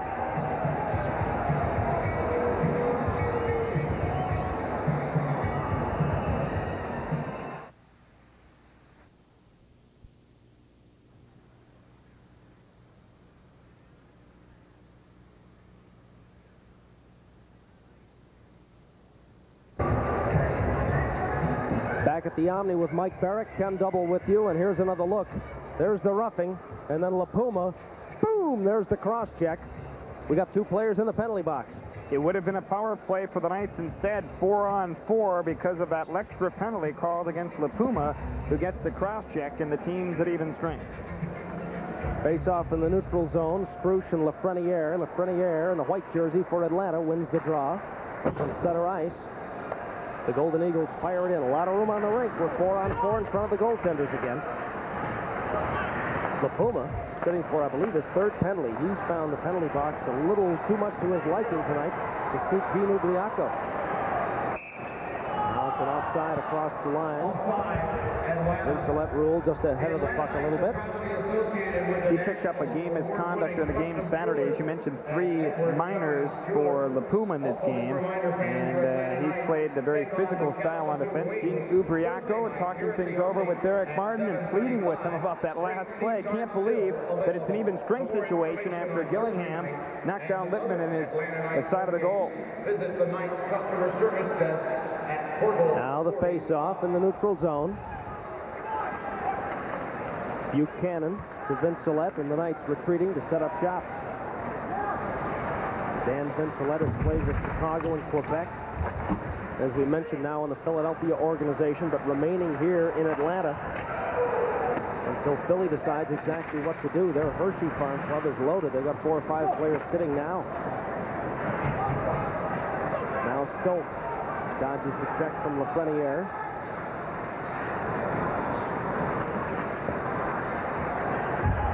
Backhand to the center, and here's the captain, Rich Chernomaz. Six save by Littman. Back the other way, taken away by Wortman's got Chernomaz's right in front, and Rivers intercepts the play. Big defensive stop there by Rivers. Now Vincelette pushes it in. And Melrose plays the puck. Leaves it behind the net, Vinny. Boy, he was tired after that shift. Just fell down. It was a long shift for him, and now skating off in a line change. There might be some concern on the Atlanta bench. He had knee surgery and is coming back. Injured his knee earlier this year, and the way he got up went down and then slowly got up. There might have been a little concern that maybe he had hurt the knee again, but I think you're right. I think it was just poop. Now Boston beats Stevenson flying up the wing, and he just missed the post. A rebound shot by Osborne over the crossbar. Now Stevenson has it. Stevenson looking for the play.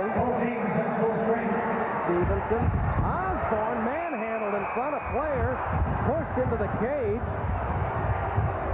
Yeah, Melrose No gave, penalty called here. Oh Melrose my. gave Stevenson a shot to the right of the goal. A Knights had a couple of players in the slot area, but it was uh, uh, Stevenson who gets up slowly now to the right of the net, parking himself there. Melrose didn't like him taking position to the right of the Lake goal and let him know it. But as you mentioned, Martin let it go. 5.42 left to go here in the second period. And we're coming back for more hockey from the Omni. The Golden Eagles still leading 2 to nothing. This is the IHL on Prime. Leadership to the Knights customer service booth at Portal 45 to claim their prize.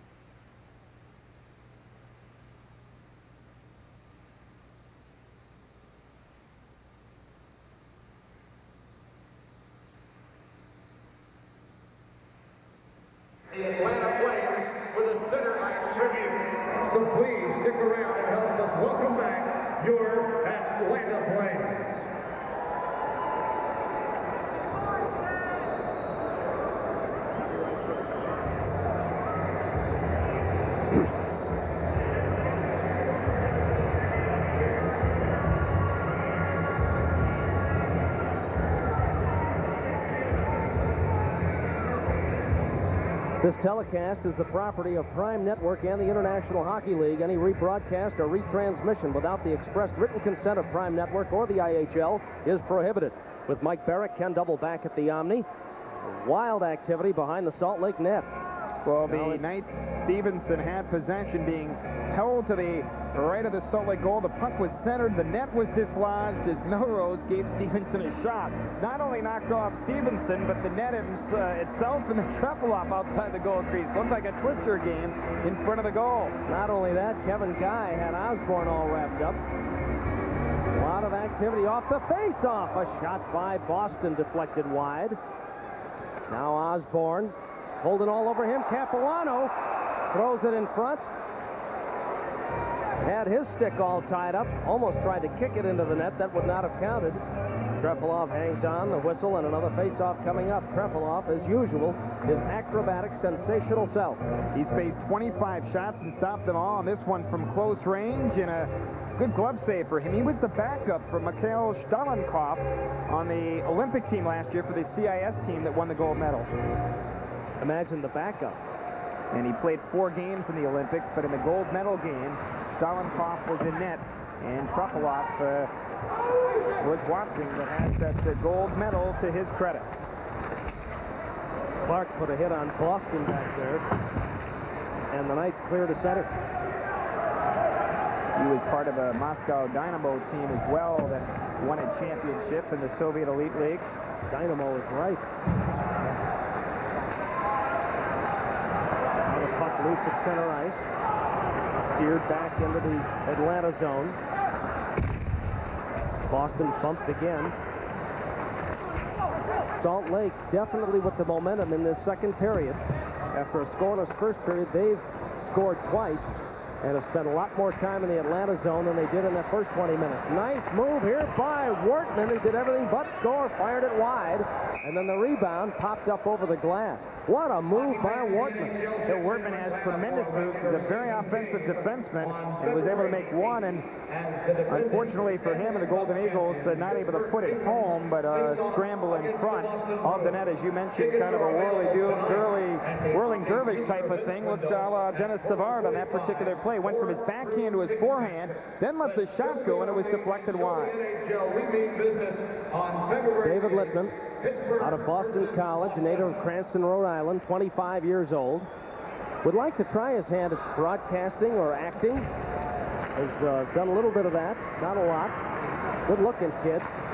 There's a shot fired by Stolk, never got to the goaltender. Now a bouncing puck cleared by Atlanta. Jean Blouin leaves it here for Hodge. Right up with Stolk. And the Knights dump it in. to the near side. Out of the far side, Atlanta forechecking. Hyde leaves it in the corner for Blouin. Tied up with Wortman. Digging for the puck. Oh, Bergland takes a big bump from behind. That was some check by McCarthy. Now the Knights have the puck, but it's cleared to center. Chase for the puck. Good job down there by Nikolic. And Littman hangs on.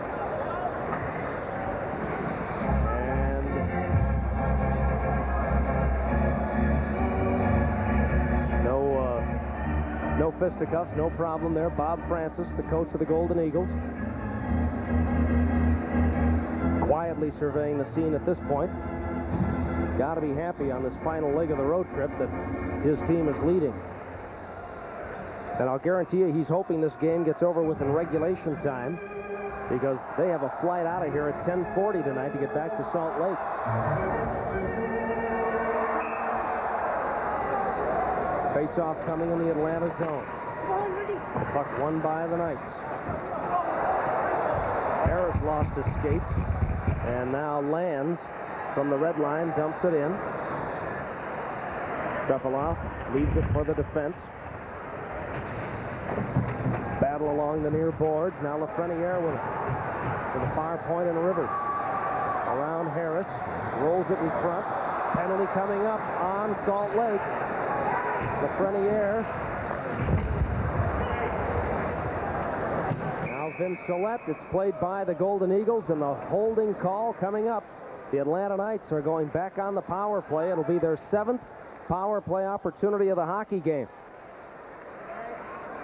Kevin Melrose, number five, going to the penalty box. Melrose, the 26-year-old defenseman, takes the holding call at 16.54 of the second period. So the Knights, right here at the end of the period with just 3.06 left, have an opportunity to try and get on the scoreboard. They have now played almost eight periods of hockey against Trefilov and have scored only two goals. And at this point, 0 for 6 on the power play tonight. Now the Knights play to the far corner. Osborne and Guy. Drulia comes in to make the play, number 20. Dumped by Guy. Now Osborne with it. Try to get it to Hodge. Off the skate, it's played by Drulia. He falls down. Now he gets up as he plays the puck here to Capuano. Guy digging after the puck. Now it goes to the far point and Hodge. Now Drulia from a tough angle. The puck bouncing into the slot. Played by Lanz. Oh, right in front was Osborne. The pass deflected on a good play defensively. Now it's play to the point, kept in by Hodge. Here's Lanz. Drulia moving to the front of the net. Here's Capuano. Lanz, a one-timer. Fired it wide. Forslund waits and clears the zone. 54 seconds left on the power play opportunity for Atlanta. We're just under two minutes left in the second period. Two to nothing. The Golden Eagles lead the Atlanta Knights. Lafreniere loses off a skate right in front. Near miss for Struch as he missed the near post. Now Lafreniere with Struch tying him up. Puck tipped here to Lanz. Stevenson loses the puck and Struch dumps it ahead with now 22 seconds left on the power play.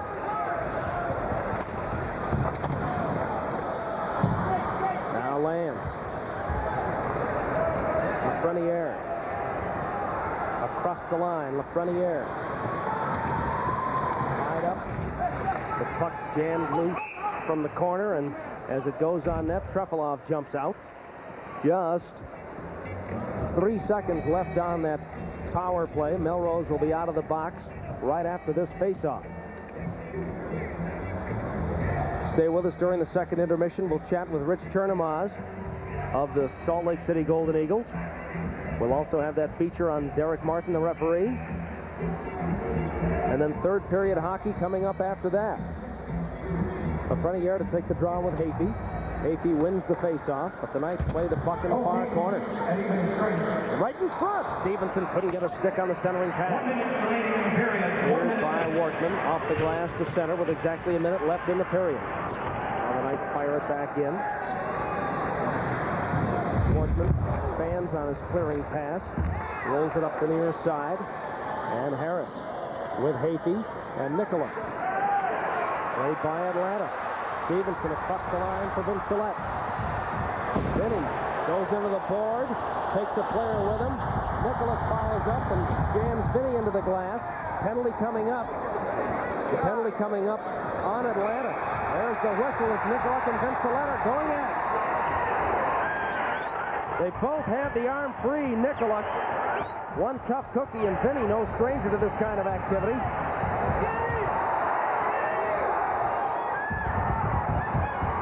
Nikolic trying to lift Vinny off the ice by the pants. Almost got it done.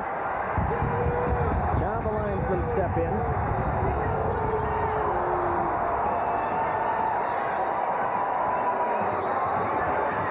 And they separate the combatants. And Nikolic and Vincelette will head to the penalty boxes. I believe there will be an extra two minutes assessed here in that the penalty was coming up on the Atlanta Knights before the fight broke out. Vinny headed to the locker room.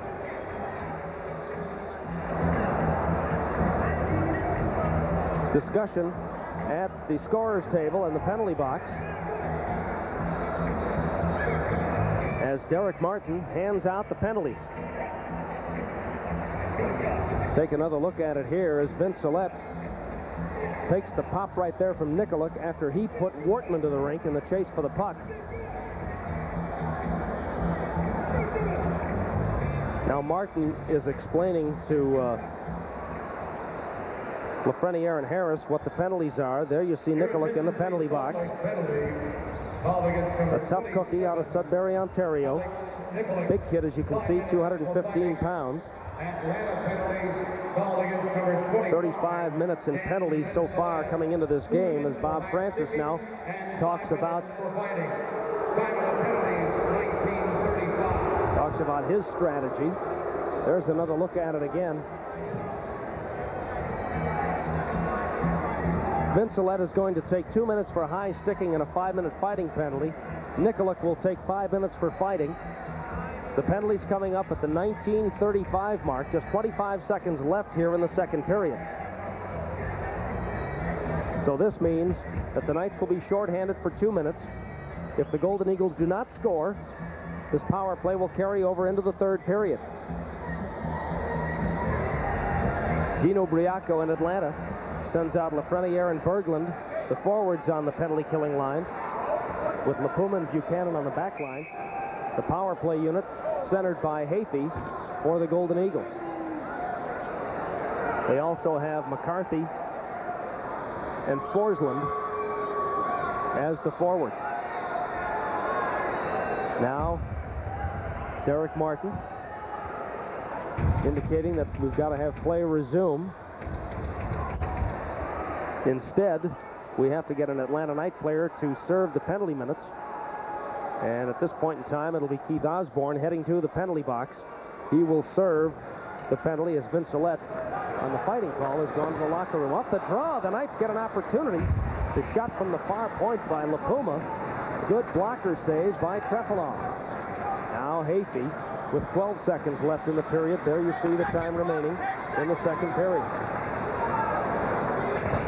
The Golden Eagles dump it in. Buchanan takes the pump. Now Guy fires right at the horn. It's wide, and the period is over. Second period goals for Salt Lake. A little more pushing and shoving in front of the Atlanta net. Cooler heads, I think, will prevail here. Get these teams to their respective locker rooms and get ready for third period action. But two second period goals for the Atlanta Knights. And indeed an interesting second period that saw Manon Rhéaume make her IHL debut. Not spectacular by any means, but nonetheless, she got her first minutes of action and gets a fine response from the crowd as she heads to the locker room. It's two to nothing, Salt Lake City, after 40 minutes of play. You're watching hockey from the Omni, IHL hockey on the Prime Network. We're coming right back.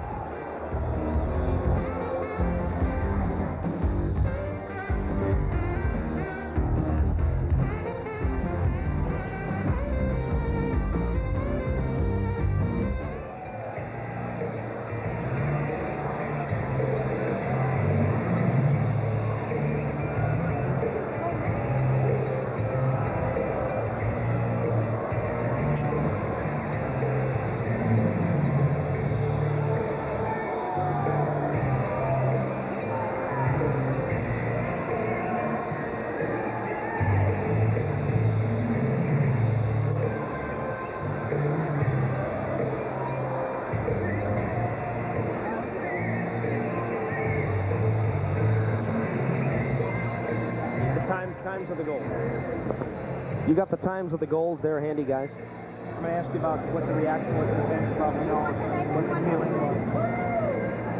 Um, the fact that how Andres played. I got it. 323 and 838. Ask him how, how long is this going to be? There's no monitor. Water. What's that? Water. How, how long will I, will I, how long is the interview going to last? Okay, two, two and a half. Okay. This will be interesting. You heard it, guys? Yeah, no problem. You going right to him or you coming to me first? thanks. I learned this a lot. Okay. Very good. That was for you, it was for him. If you need to know. Oh, right. Okay. All right. You want one more? Sorry, Go ahead. It's all right. I had to jump in for him anyway. Okay. Good to roll. Uh,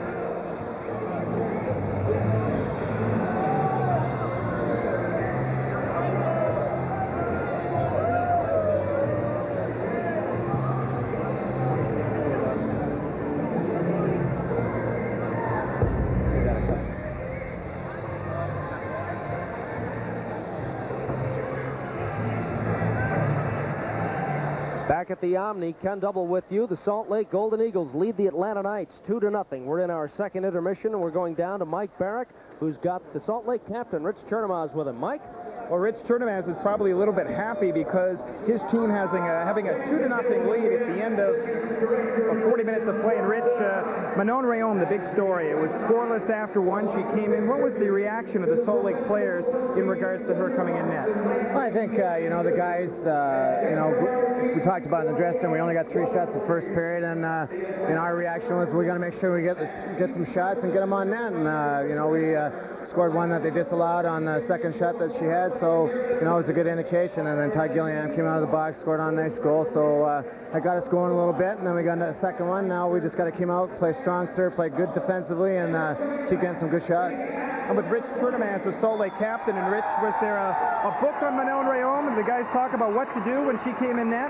Well, it's like I said, Mike, you know, guys want to make sure they're driving in the net, try and create some rebounds and some loose openings for us to create some opportunities for us. I'm sure she was a little nervous in that tonight, but, uh, you know, she didn't stand there long, and, uh, you know, I hope in, in the future she gets another opportunity. 26 to 11, the shots on goal in the hockey game so far. Andre Trefilov has stopped them all. What do you think about the Salt Lake goaltender? Well, you know, we talked and uh, regrouped in the first period, and guys said we, you know, we got to come out and play a lot stronger effort and uh, not depend on Andre so much. You know, he's played one of his uh, regular outstanding games again, and uh, you know, when you make save after save like that, it it, it does nothing but help the guys uh, start producing a little better uh, offensively and defensively out there. And I think the second period indicated that a little bit, and now we just got to go out and play the same way in the third. Rich, this is your sixth season in Salt Lake. You're the captain, and uh, last season set the franchise record for goals scored. This season, perhaps games played, and also overall scoring from Lyle Bradley. You've been in Salt Lake six years. You've seen the progression of the IHL. What do you think about this league right now? What's going on? Well, Mike, I think every year the league just seems to be get stronger and uh, seems to be a bigger market out there for it. I, I think it's become really world class now with some of the players that we're getting from Europe, and uh, I just see this thing getting bigger and better uh, as the years goes on, and uh, it's a real good product for the people to come out and watch. All right, Rich, best of luck to you and the Eagles the rest of the way. Great, thanks, Mike. Rich Chernomaz, captain of the Salt Lake Golden Eagles, the score 2 to nothing in favor of the Atlanta Knights.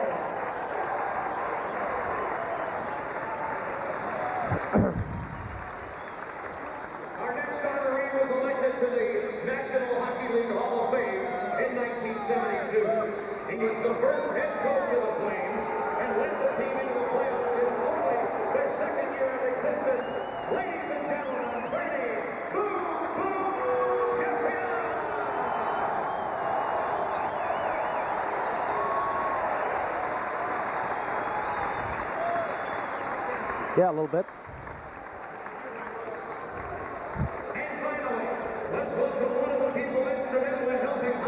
Curt Okay.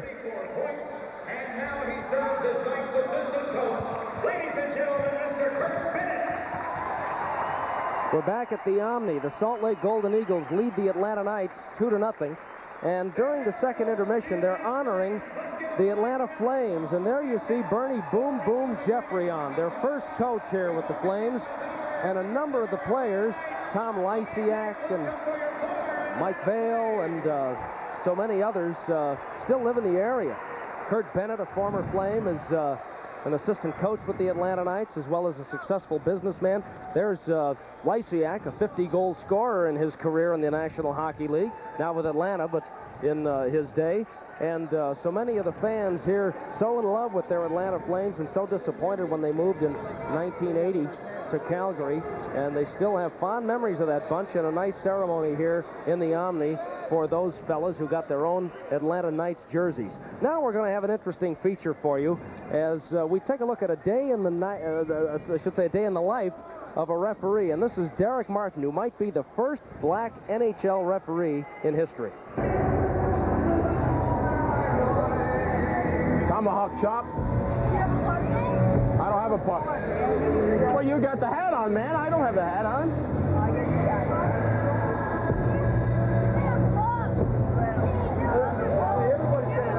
I don't have a puck. He's the, he's the puck man. He's the puck man. Stop running for mayor. Let's go. Team's out here. Listen, we want to listen. Don't point your finger at me. Listen, Gene. I didn't see anything over there, okay?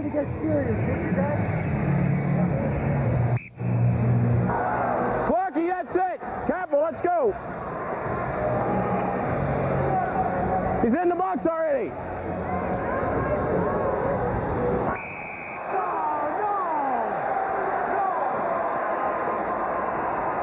Slashing.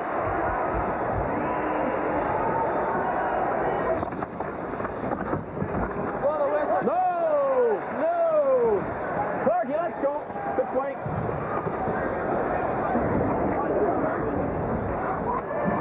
I don't think uh, the race issue is, is a, a problem here in the in, in hockey, so to speak. I think it's more of a hockey's I shouldn't say a Canadian sport, but it's dominated more by Canadians, where uh, black-white issue in the in Canada is, is, is really not an issue. It's an issue here in the United States.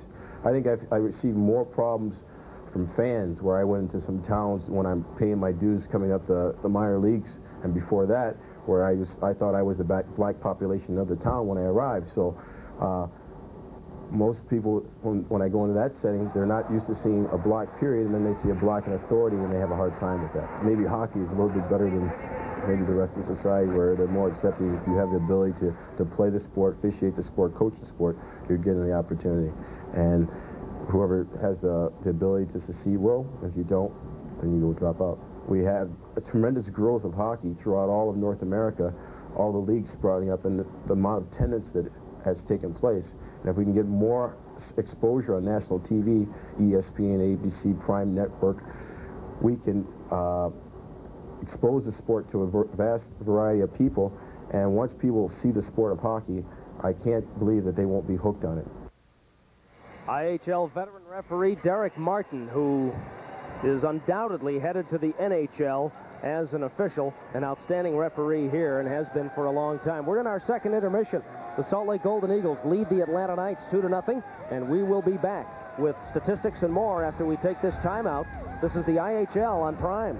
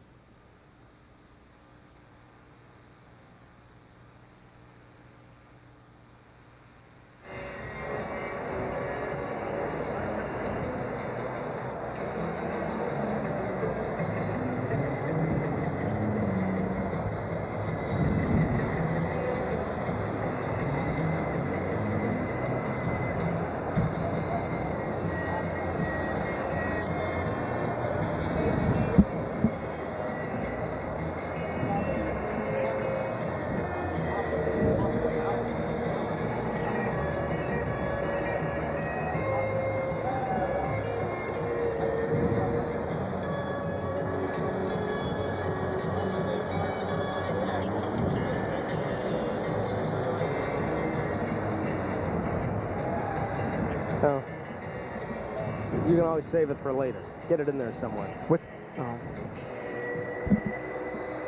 Going to see Gillingham out of the box first, right?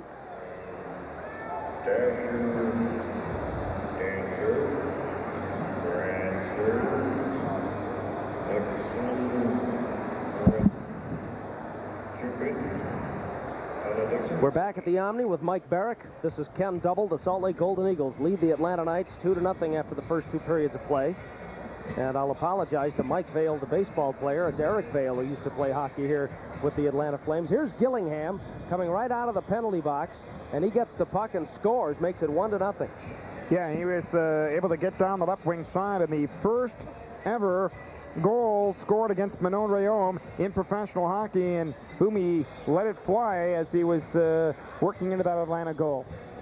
Tough break for Manon Rhéaume, who was able to uh, clear the, uh, unable to clear the puck.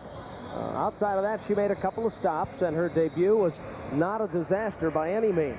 So Gillingham scores the first goal, and then he gets the deflection and scores the second goal. David St. Pierre let go of the slapper, and Gillingham got his stick up and deflected it home behind David Littman, and they scored two to nothing at the end of the second period. Todd Gillingham with both scoring plays for Lake, a free agent signed by the Flames in 1991. Last year played in St. John's, is uh, very close to his hometown in Newfoundland and scores a couple here, and the Golden Eagles have the 2 to nothing lead at the end of 40 minutes of play. Interesting, they get the offense from him. He only had three goals coming into the game all season, known more for his rough, tough play, but he got the job done here in the second period for the Golden Eagles to give them the 2 to nothing lead. And uh, it'll be their nightmare only if the Knights can come back in the third period. yeah, no question about it. And they've done a great job on uh, the marketing here in Atlanta and use that nickname to their advantage with the goaltender, the Atlanta Knights with the mask, and uh, they've done a terrific job. A great crowd here tonight uh, for this uh, International Hockey League game. And what's interesting tonight, uh, Ken, is the fact that the shots on goal clearly in favor of Atlanta, the 26 to 11 opportunities, and Trefilov has been terrific, uh, making 26 saves, and the fans really enjoying it here in Atlanta. 26 to 11 overall, 2 0 Salt Lake. And of course, uh, coming into the third period, the goaltender Trefilov with 26 saves. The power plays clearly an advantage of Atlanta as far as the opportunities, but the Eagles' penalty killing has been perfect. So when we come back, we'll have third period action and more as the IHL is being brought to you on the Prime Network. We'll be back after this timeout.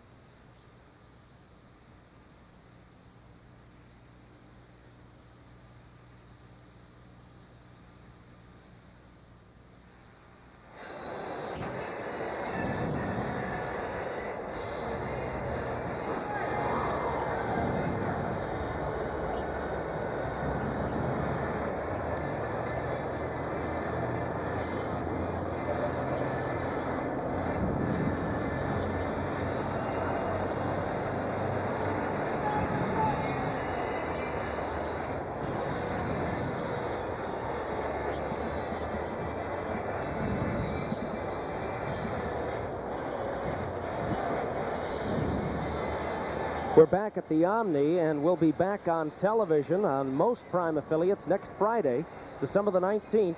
Cleveland takes on Cincinnati in the... Uh, check that, that's Saturday. I'm sorry. December the 19th is Saturday, not Friday. Thanks. Getting corrected in the truck. Thanks, guys. don't sit here with a calendar right in front of me. anyway, it's Saturday, and uh, what's interesting there is the Atlanta Knights play in the Atlantic Division of the Eastern Conference, and these are their two division rivals, Cleveland and Cincinnati, and the standings mean that this is an important game for Cincinnati. They've been struggling a little bit, and neither of the teams with a winning record at this point, but Cincinnati, that would be a couple of big points for them in trying to chase Cleveland. Fort Wayne, as we said at the top of the telecast, they've been hot. Indianapolis has been kind of hot and cold. Indianapolis has been struggling on their home ice, and Kalamazoo has also been struggling somewhat this year. There you have a look at the Eastern Conference standings. Right now, Atlanta and Fort Wayne, the strong teams. Milwaukee and San Diego have been strong all year, and that's San Diego. That's an unbelievable story. At one point, they were 22 0 and 3. It took 25 games into the year before Phoenix finally got them in 60 minutes of regulation time. 6 to 2, the Roadrunners won that game, and it's incredible. Uh, uh, 17 players, I believe, with the National Hockey League experience on that hockey team, coached by Rick Dudley, and they have been beating up on everybody this season in the International League. And Milwaukee in first place in the Midwest, both independent teams in the IHL. As you look at the standings, unlike the National Hockey League, OTL, there are no ties in this league. That's overtime losses at the end of regulation, if the teams are tied, each team gets one point. They play a five-minute overtime to award a winner the second point. If it's still tied after overtime, they have that incredible shootout to again award the second point. So there are no ties in the IHL, and that's what the overtime loss column means. That means one point awarded for the overtime loss, two points for the team that eventually wins either in overtime or in the shootout. That's what makes San Diego's record so impressive is the fact that in their uh, 28 games this year, 27 have gone uh, either when they've had the lead and won the game or gone into an overtime situation, Ken. So that's a, a real interesting statistic uh, considering the number of games they've at least gained a point. And the uh, Knights have been all over Salt Lake as far as the shots on goal, and Trefilov has faced 26 shots and stopped them all. He's been incredible. We talked about it from the top. He's very unorthodox. He split. We saw him uh, in Salt Lake City. He did the splits and went down at about the time a player wound up for a slap shot and then threw his glove high and made the save when he really didn't need to go down at all. Completely unorthodox. But again, it all adds up to spectacular numbers, a great one-loss record, a great goals against, and he's working on a shutout here. 52 saves in one game this season against the Milwaukee Admirals and a 2-1 victory over the Milwaukee team at the Delta Center in Salt Lake, and he spent a year and four months without playing hockey at all, Ken. He played uh, hockey, of course, at uh, the Soviet Elite League with Moscow Dynamo, but actually spent a year and four months without playing hockey, serving his time in the Russian Army. He has yet to score a shutout this year in IHL play as you see the Atlanta Knights come back out onto the rink. But he's working on it here 20 minutes away from his first flanking of an opponent. Now, as we start this third period, the Atlanta Knights will be completing a penalty, a minute 20, a minute 36 rather, to be served on the penalty to Dan Vincelette. So the Atlanta Knights will be shorthanded. Salt Lake will have that opportunity to increase the lead. I've heard a lot of coaches talk, Mike, about the fact that the most dangerous lead in hockey is a two-goal lead. There is sometimes the uh, desire to not so much relax, but begin playing a little too defensively, not to uh, uh, attack quite as much, and that the next goal becomes so important. It either creates the three-goal lead or allows the trailing team to get a little momentum and get back into it. Well, for Salt Lake, they have not blown a lead this year. They have a record of 12-0-1 when leading or tied at the end of 40 minutes of play, and they obviously have done very well when leading. And the Knights, when trailing after two, not bad. Four comeback victories for them, four and five when trailing through two. So you have a team that's very good at protecting the league against a team that's very good at coming back in the Atlanta Knights. There you see David Littman Manon Rhéaume back to the bench after her near six-minute run of it during the second period. She's been a spectacular story. She's just delightful. Uh, still struggling a little bit with her English, and yet she's uh, been under the microscope as only the media can provide it and handled it all very well. She's also, as you can imagine, uh, much in demand for uh, different uh, endorsements and things. You touched on it earlier. She looks good for the camera, and she said it takes her an hour to get ready, just like all the other girls. Out of Quebec. She made quite a splash on the David Letterman show, and she talked about the fact that Aki is my passion.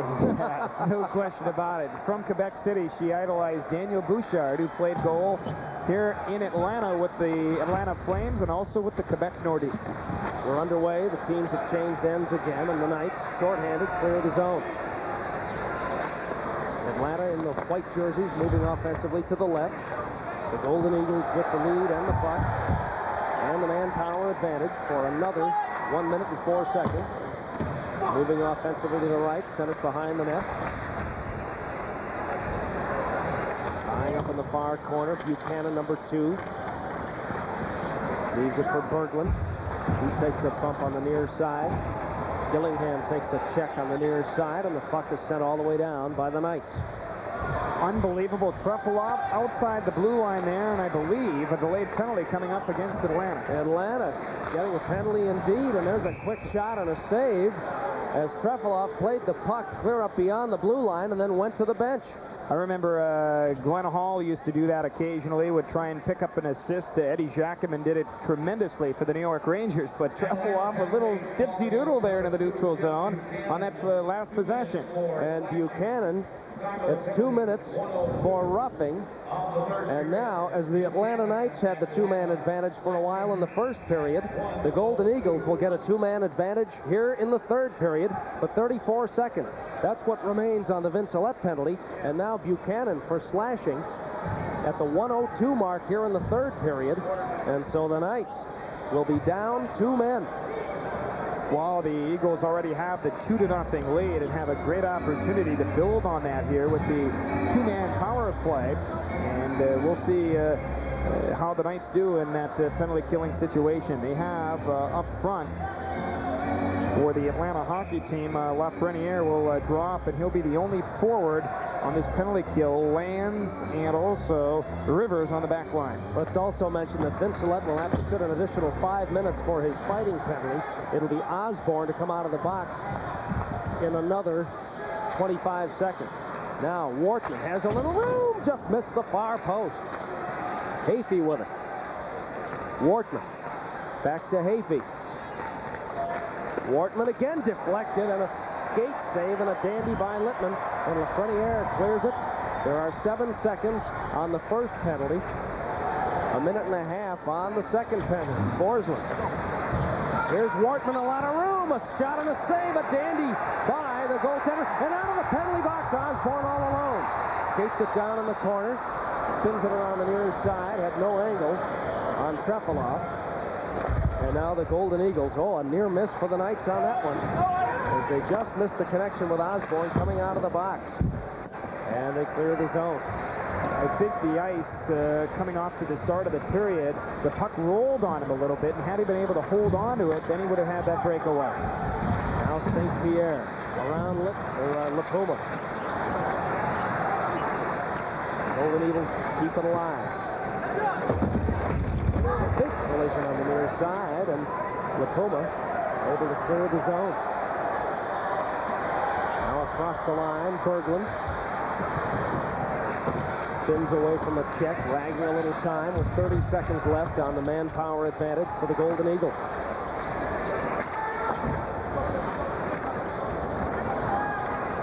Now Stolk feeds it up the far side, and St. Pierre dumps it in. Littman feeds it up the far side. Ten seconds left on the power play. And the Knights clear to center. Now Guy has to wait for his teammates to get on side. He does. Littman gloves it. Boston plays it. Dangerously in front of his own net.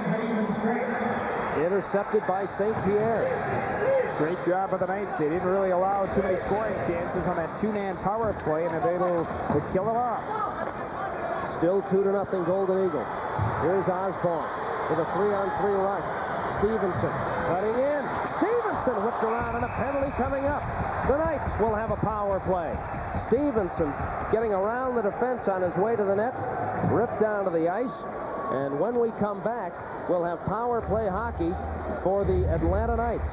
It's 2 to nothing Salt Lake, and this is the IHL on the Prime Network.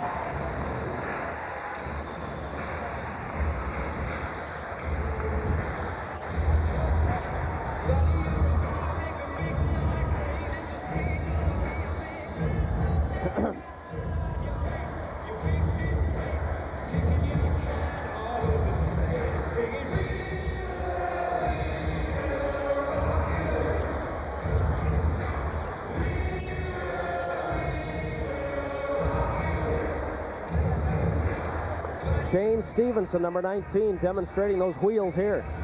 Kevin Melrose had no other choice but to haul him down to the right of the goal. Melrose out of Harvard, played for an NCAA championship uh, team there as the pass was made across. Stevenson on his backhand, and Melrose did the only thing he could, I guess, to keep him from scoring the goal and made him pay for it, but Melrose pays for it with a minor penalty. So Melrose sits two minutes for holding at the 325 mark into the third period. The Knights are on the power play. 0 for 7 so far tonight. Third in the league at 22% plus. They were 2 for 7 in yesterday's game. And really, if they want to get back into the hockey game, this is their opportunity to cash in. Trying to feed it in front. Drulia had it knocked down by the defense. Now Osborne, the league's leading goal scorer, feeds Drulia. The Knights, again, all season long, have not just peppered the net with shots. It has been their plan and their play to move the puck around. Early on, they were Pachao behind the net. They feed Lanz. Early on, they were very successful, near 30% for the first 10 or 11 games. And as it has all around the league, San Diego has even settled down to where they're around 25% on the power play. Here's Capuano. Dave Capuano. He's got a brother Jack who plays hockey, another cousin who plays hockey. Lanz fires it too high. Hodge rolled it in front, deflected by the defense. And now Chernomaz sends it all the way down, just misconnecting with Struch on that play. The Eagles playing a tight box both times in the Salt Lake defensive zone. The Knights kept the puck in the perimeter, but not able to get a slap shot in front of Trefilov or even one from the point. He can fire the puck, and he won't hesitate if he finds the opening. Stevenson, far circle. Gretzky with the puck. He's been quiet tonight after two good offensive games in a row. Stevenson, Gretzky right in front. Shot, save, and Lafreniere had the puck. Couldn't really tee it up. Threw it on net in a hurry, but Trefilov had the stick on the ice and then smothered it. Minute 32 gone into the penalty. Trefilov makes the save on the first tight shot, Ken, on that power play. The Knights were frustrated. They were passing the puck beautifully on the perimeter. That was their first close-in shot on that uh, power play, and it was set up to the left of the goal. Gretzky waited no time at all to feed Lafreniere right in front, and Jason fired it right away, but again, the book on Trefilov is shoot the puck high, but no time to really tee it up at all. There's a high shot from Rivers and a good glove save by Trefilov. Well, I'm not sure if shooting high is necessarily the best, especially in his glove side, because that's his strength as well. I guess if they're going to beat him high, they're going to beat him above the shoulder on the short side, but I'll tell you what, he's uh, pretty strong with that glove hand on the high shots as well. Young goalie is just outstanding, and of course, as the voice of Salt Lake, Mike, you're around him a lot. What a colorful young fella he is. He's great. I'll tell you what, his uh, English is not great, but uh, he's learning. And uh, I'll tell you what, he's just a great guy. The, the, the, players love to be around him, and they've really banded around him as well. Doesn't call you Mike Barack, he calls you Mike Radio. Misha Radio, Misha TV today. now Rivers. From a check by Prost. The pass too far for Gretzky. And now the penalty is over. The teams are back at five on five. The Golden Eagles have again thwarted the Knights on the power play for the eighth time. Salt Lake has played a much stronger game here tonight than they did yesterday. And again, evidence as to why they've been so much better over the last two, three weeks of the season. Flying into the attack zone. Oh, Clark would have been open in front. They couldn't get the puck to him. Atlanta the other way. Too far for Stevenson. Played at center ice by Gretzky. Cute move right through Spruce. Has to wait to get his teammates on side. Taken down. There'll be a penalty on the Golden Eagles. They touch the puck, and here's the call. Now Gretzky very upset. Took a pop. I think that's Gillingham. Yeah, he was leveled in across the line, and wow, the puck went into the corner, and another power play coming up for Atlanta. Now there may be another penalty assessed here, though. The linesman in there, Gillingham, none too happy at all. Gretzky smiling, although he smiles all the time. Yeah, Kerry Clark popped him. Cross Uh, check not from sure. behind. Yep, yep, and uh, as a result, uh, another power play coming Oh, up and then for Atlanta. Gillingham really tackled him good. Well, he saw the first one, and Clark's uh, being called off right now. Okay, we'll take a pause here and have this power play when we come back. It's two to nothing, the Golden Eagles. This is the IHL on Prime. Salt Lake cross-checking at 5.57.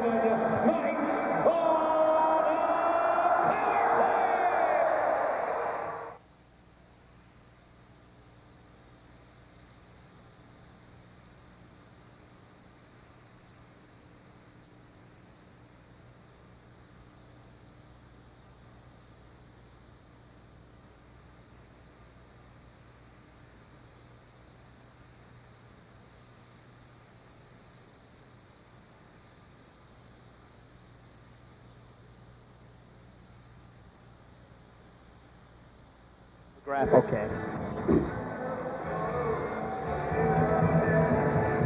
How much time coming back? Excuse me.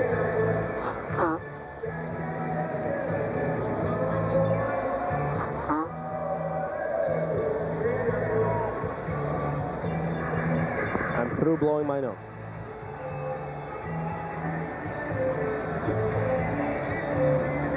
Back at the Omni, and here's Brent Gretzky across the line, and he didn't get it once, he got it twice. Kerry Clark playing like his older brother Wendel, a rambunctious soul, and then Gillingham wrapped up Gretzky as well, so he felt it twice.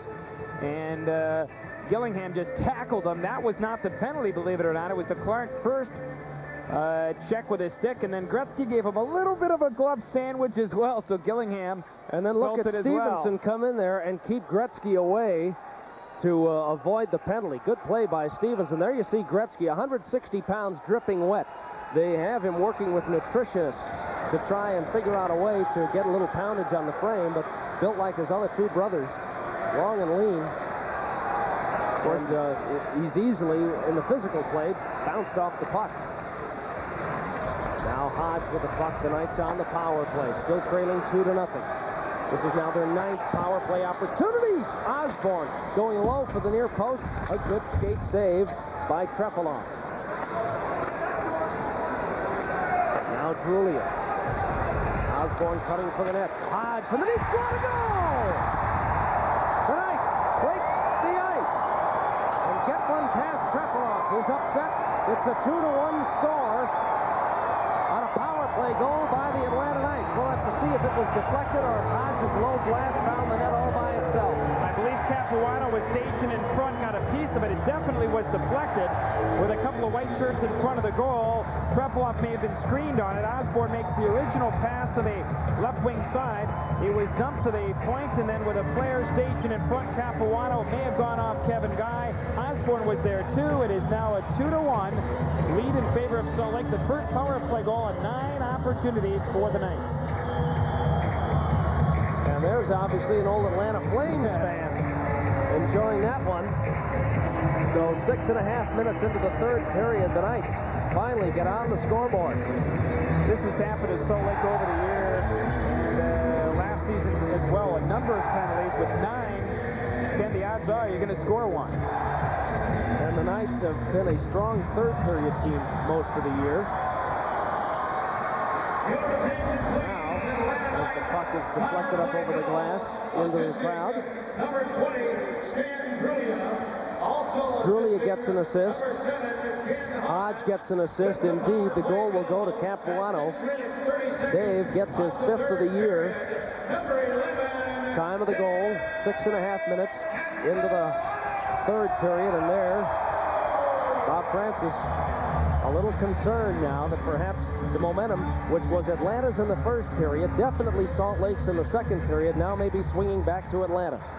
Drulia's fifth of the year, his third power play goal from Hodge and Drulia at 6.30, and it's a 2-1 game. Now the puck in the Salt Lake zone, and cleared by the Golden Eagles. They break out of it, two on two. McCarthy scores! He got it inside the post. Littman, in cutting down the angle, didn't have it quite right to the near side. A big goal for the Golden Eagles who come right back and reestablish the two-goal lead. McCarthy made no mistake on a low shot to the near side, just inside the pipe. It's 3 to 1 Golden Eagles. McCarthy's a big man down the right wing side, and he just lets go a bullet, a lot of wood on the shot, low to the glove, and the Golden Eagles strike back to take a two-goal lead. Again, uh, a big drive, and he really let go a whipper, and the Golden Eagles up by two. His sixth goal of the year, and now the Atlanta Knights thought they had momentum. Instead, a big goal coming back for the Golden Eagles. Here's Gretzky at center. Hodge trying to play it across the line. Instead, now it's dumped in by LiPuma. Hodge, the first one to it, far side. That much time remaining in the hockey game. The Knights again trailing two to Salt Lake. And the Golden Eagles clear the zone. McCarthy, a third-round Flames pick in 1991. He's only 20 years of age, the youngest player on the Lake hockey team, and my, oh my, uh, howitzer down the right wing side. Big shot indeed. Big goal. Big two points here for Salt Lake finishing off this long road trip as they try and establish themselves a little bit in the Western Conference. Now Gretzky, nice move in front. Had it poke checked off his stick as he was going down. And they clear it all the way down. We've got a nice and call coming here. And we're going to take time out. 3 to 1. The Golden Eagles lead the Knights. 11.46 to go in the hockey game. You're watching the IHL on Prime Network.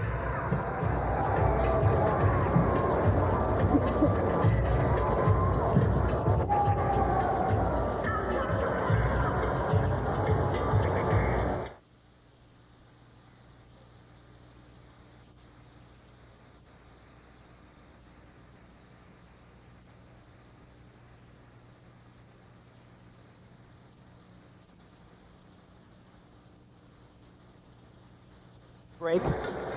Oh, no, during the break. Ooh, good job, oh, guys. The assist on McCarthy's goal. Do you have the assist? The assist on McCarthy's goal. Hold it. Watch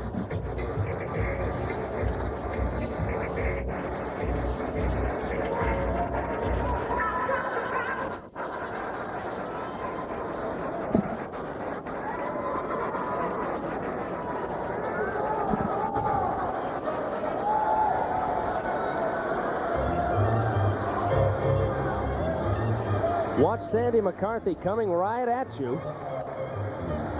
And man, he uh, beat uh, the goaltender Littman low to the glove side. And a rocket for McCarthy. You know, uh, he's a big man. Uh, he's a size 6'3", 225. The Flames drafted him for the toughness and for the play along the boards. If they could get some goals from him, that's great. And one of those rare commodities, a guy that can skate and score along with playing the body at that size. And when you get that size, freewheeling up the ice like that, you get an awful lot of momentum behind that big shot. Now it's center ice, the puck played. And Mikulich rolls it into the Atlanta zone. It becomes now a little more of a territorial game for the Golden Eagles. With 11.20 left to go here in the hockey game, they'll want to become a little more protective. They certainly don't want to take any silly penalties here. Now the puck along the far side, Mikulich. Stevenson runs in into the boards. And a jam at three. They tie up and we'll have the face-off between Stevenson and Mikulich.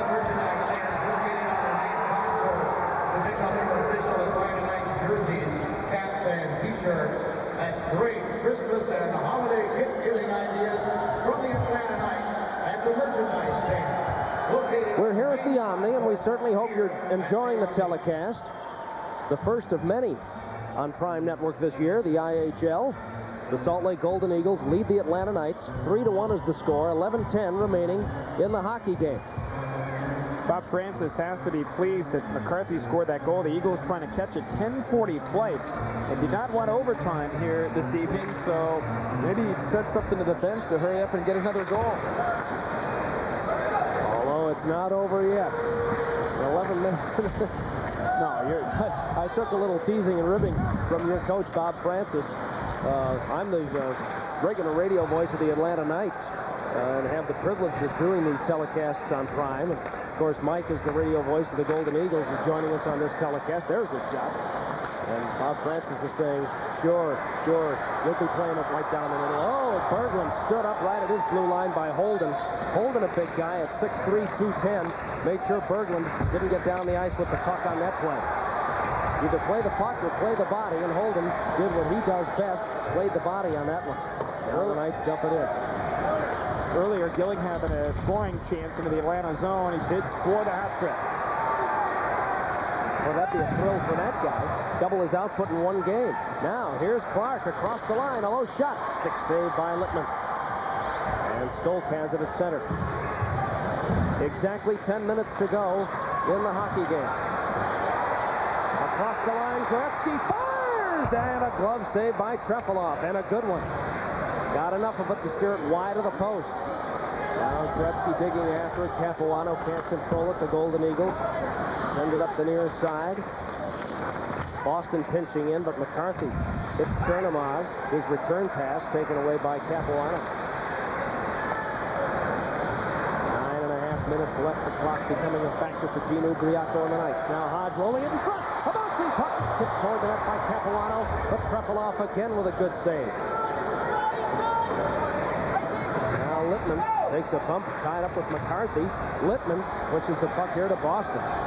Littman trying to get free, finally does. He's back in the cage. And now here's Shane Stevenson. Stevenson up the near side. Behind the net he comes, looking for the centering pass.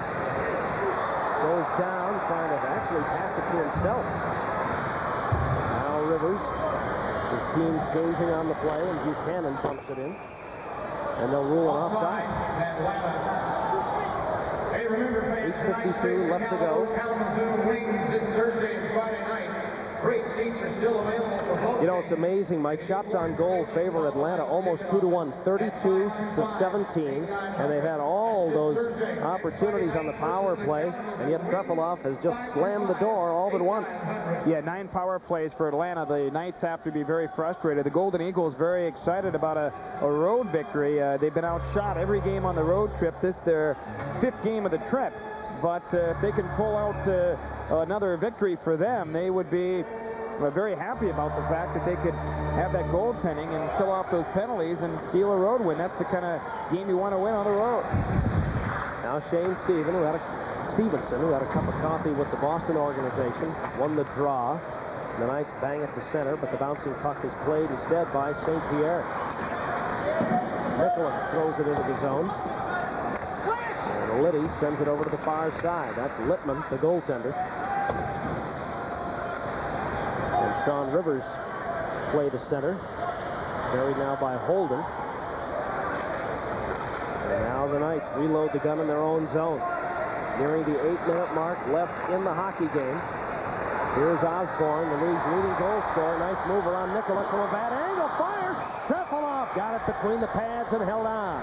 Wow, another great save by him. He was actually backing up into his goal crease area, squeezed the pads together, and was able to make the stop. That one actually had so much mustard on it, he actually fell back a little bit in that goal crease area, but still kept the puck from going over that red line. Osborne made a nice move to get to this point, and then blistered a low shot, and Trefilov got it. You look behind him for a moment also to see if it gone in. Osborne, a former first-round St. Louis pick with the big right-handed shot, and Trefilov, as mentioned, was able to make the save. Osborne played most of his IHL career in Peoria. now with the Tampa Bay organization. In a free agent year, he's looking to have a big year and see if he can make his way to the NHL and sign with anybody next year. Now Wortman to Clark. Cross ice, Boston plays it for Atlanta. The Knights need a goal in a hurry just to have the opportunity to pull the goaltender and create a tie. And they had tough luck against Trefilov, who's been spectacular. Now LiPuma shot. Blocker save. It's cleared ahead, but not out. Odds behind the net for Vince Then he centers one right through, and in front was Blouin, but had his stick tied up. He couldn't make a play. Salt Lake throws it ahead.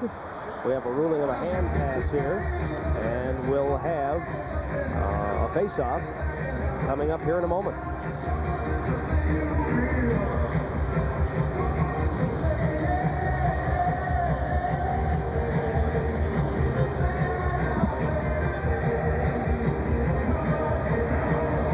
Omni. The score is 3 to 1. The Golden Eagles lead the Atlanta Knights. Todd Gillingham with two goals, Sandy McCarthy with the third one, the scoring heroes for the Golden Eagles. But the real hero, their outstanding goaltender, Andre Trefilov, has kicked them all out but one. Hard to believe. Uh, it seems so long ago that Manon Rhéaume played her five minutes in this hockey game, but Trefilov, again, uh 31 saves on 32 shots here tonight. He's 4-1 and 1 on the road. He's 8 and 2 on home ice, and whether it's home or uh, on the road, he's been strong uh, all season long for the Salt Lake hockey team. 2.72 goals against away from the Delta Center coming into the game here tonight. Now Lanz with a little room as it roll off the stick to the corner. Eyes up there, but Lafreniere plays the puck behind the net, pops over Bergland's stick. Capuano loses the chase, but gets the puck from Chernomaz right in front of Lafreniere. Knocked down by Guy on a big play defensively by Salt Lake. Now Chernomaz the other way. The Eagles trying to pad the lead. A shot thrown high off the glass, bouncing right through the crease, and a shot by Brost, and a big save by Littman. A crazy carom off the glass, and almost another one there for the Golden Eagles. Now Bergland dumps it in. Has it from Trefilov. Eagles have been outshot here tonight, but uh, quite a few of their chances have been from close in. There's a pass at Forslund right in the back of the head. Now digging at it. Drulia keeps it alive. The Knights keep it in. A bouncing puck now cleared by the Golden Eagles. Nearing the six-minute mark left in the hockey game. Three to one, Salt Lake leading Atlanta. Our first telecast on Prime. We hope you're enjoying it and will be with us all season long as we follow the IHL. We did the All-Star game from here last year. We'll be doing the All-Star game in Phoenix. Here's one all alone. Forslund waits, scores! He went top shelf as Littman went down, and it's 4 to 1 Golden Eagles. A commanding three-goal lead now late in the hockey game. Wow, Forslund set up and across the line. The only Swedish-born player in the International League took that pass across the blue line and uh, is getting the congratulatory pats from his teammates. He worked in all alone. He stopped and then just scooped it up high just underneath the crossbar for a 4 to 1 Salt Lake lead. He played 38 games in Calgary last year. At 10 or 22 games for Salt Lake. Scores his 10th goal of this year. Thomas Forslund, a big play there. It's 4 to 1 now, and we're coming back for more hockey from the Omni after we take this timeout. Five minutes and 50 seconds remaining in the game, and the Golden Eagles lead by three. This is the IHL on Prime.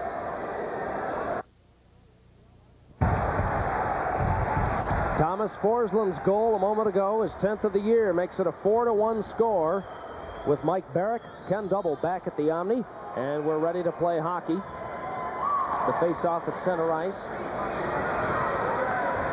And Gretzky trying to push the puck in is held up. And now the Golden Eagles can certainly afford to play a game of keep away here with a three-goal lead late in the hockey game. Try to feed a long pass. Player falls down. Here's Gretzky. Gretzky for Jean Blouin. Fired it too far past him. Now Johnny B tries a centering pass. Now high. Back to Jean Blouin. Bouncing puck. And he ends up giving it to LiPuma out of the zone. tough break there as Gretzky fed Blouin. Couldn't catch the pass. Kevin Wortman fell down at his blue line, allowing that two-on-one to develop. Gretzky gives up the puck, trying to be cute with it. St. Pierre feeds it in. Keeps it alive along the near board. His centering pass pushed here to the near side, and Gretzky takes a big bump from Kevin Guy. Guy falls down. They're still trying to dig the puck loose. All jammed up along the boards. Now it's cleared to center. Blouin a shot wide. And it's played by the Golden Eagles. Here comes Struch. His shot knocked down by Boston. The puck cleared by Jason Lafreniere. He takes a bump from Clark. And it pops over Stolk's stick, and it's free at center ice for Kevin Guy. He bangs it off the near board. Played back by Atlanta, and then played back by Guy. His long shot knocked down by Littman. As we near the four-minute mark left in this hockey game. And the Knights feed it up the far side. Berglund around a check. Feeds Vincelette. His shot knocked down and played by Chernomaz. He feeds it here to the near side. McCarthy takes the bump as he throws the puck into the zone. And they'll rule icing. That much time remaining in the hockey game, and the Atlanta Knights having to climb the mountain now. It's not just a little hill, it's a mountain, Mike. Terrific game for the Golden Eagles here on enemy ice. Outshot 32-19, and Trefilov has been brilliant once again. The penalties have been a factor. Nine power plays for the Knights. They've scored only one. And next week, uh, another great game, Cleveland and Cincinnati. And I was there last week. I was there this past Friday night. What a building, the Cincinnati Gardens. It is loud in there. You know, I'll tell you what, that was the great old barn where Oscar Robertson scored all his points for the old Cincinnati Royals in the NBA. And the uh, hockey team has moved in there, moved from the East Coast League to the IHL. They packed that place with almost 10,000 a night. And now right in front, a shot for Chernomaz, and he almost got it home. But they love their hockey in Cincinnati. And it's a very entertaining brand of hockey in a, in a neat old building. The atmosphere is just great. Now the puck chopped into the corner. Lanz plays it behind his own net with 3.20 left to go in the hockey game. His long pass to Capuano, and away from the pass, back down, you've got Buchanan all wrapped up with McCarthy and a little bit of a waltz me around Katie. Nobody's thrown a punch yet. Yeah, once again, uh, Buchanan at 6'2", 190. McCarthy's got this a little bit of size and weight advantage there. Now starts to throw some punches, but Buchanan trying to fight back. And they hit the ice, and the linesmen jump in to separate them. McCarthy had uh, 892 minutes in penalties in his three years of junior hockey in the Quebec League, and Buchanan had over 140 last year for the Saskatoon Blades of the Western Hockey League, a free agent signed by Tampa Bay this summer, and uh, not much akin of a scrap there, not a lot of punches uh, connecting.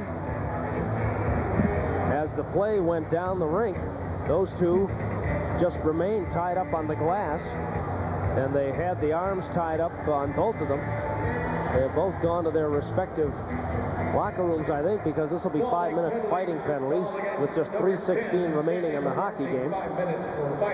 They'll not see action again unless there's overtime. And there won't be overtime unless the Atlanta Knights can light it up in a hurry. And Mr. Trefilov has made sure that that hasn't happened all night long. Has he been great? What exactly we were anticipating some fireworks in front of the Salt Lake net by Trefilov, who is a, just a great goalie and fun to watch. Trefilov uh, did not have an NHL team growing up in Kirovo, Russia, and was ecstatic to be drafted by the Calgary Flames. Thought he'd be drafted by the Hartford Whalers. He played a scoreless uh, tie there in a Super Series game, but uh, was drafted by the Flames. You know, he makes Tony Esposito's style seem orthodox. And Esposito was all over the ice in his great career with the Chicago Blackhawks. He is all over the place in goal. And uh, again, that glove is terrific and tremendous reflexes. Many of the NHL scouts question if that style would be successful with the Oh, now here's Clark with the puck intercepted.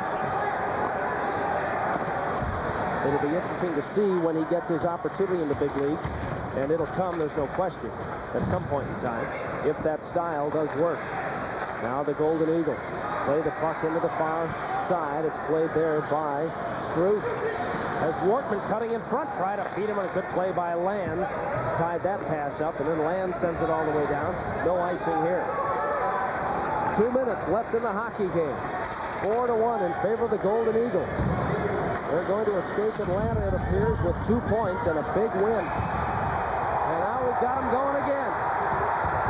Away from the action on the near side, Stevenson got all over. I believe it's Gillingham who gets up, and yes, it is Todd Gillingham who scored a pair, and now Kerry Clark gets involved also.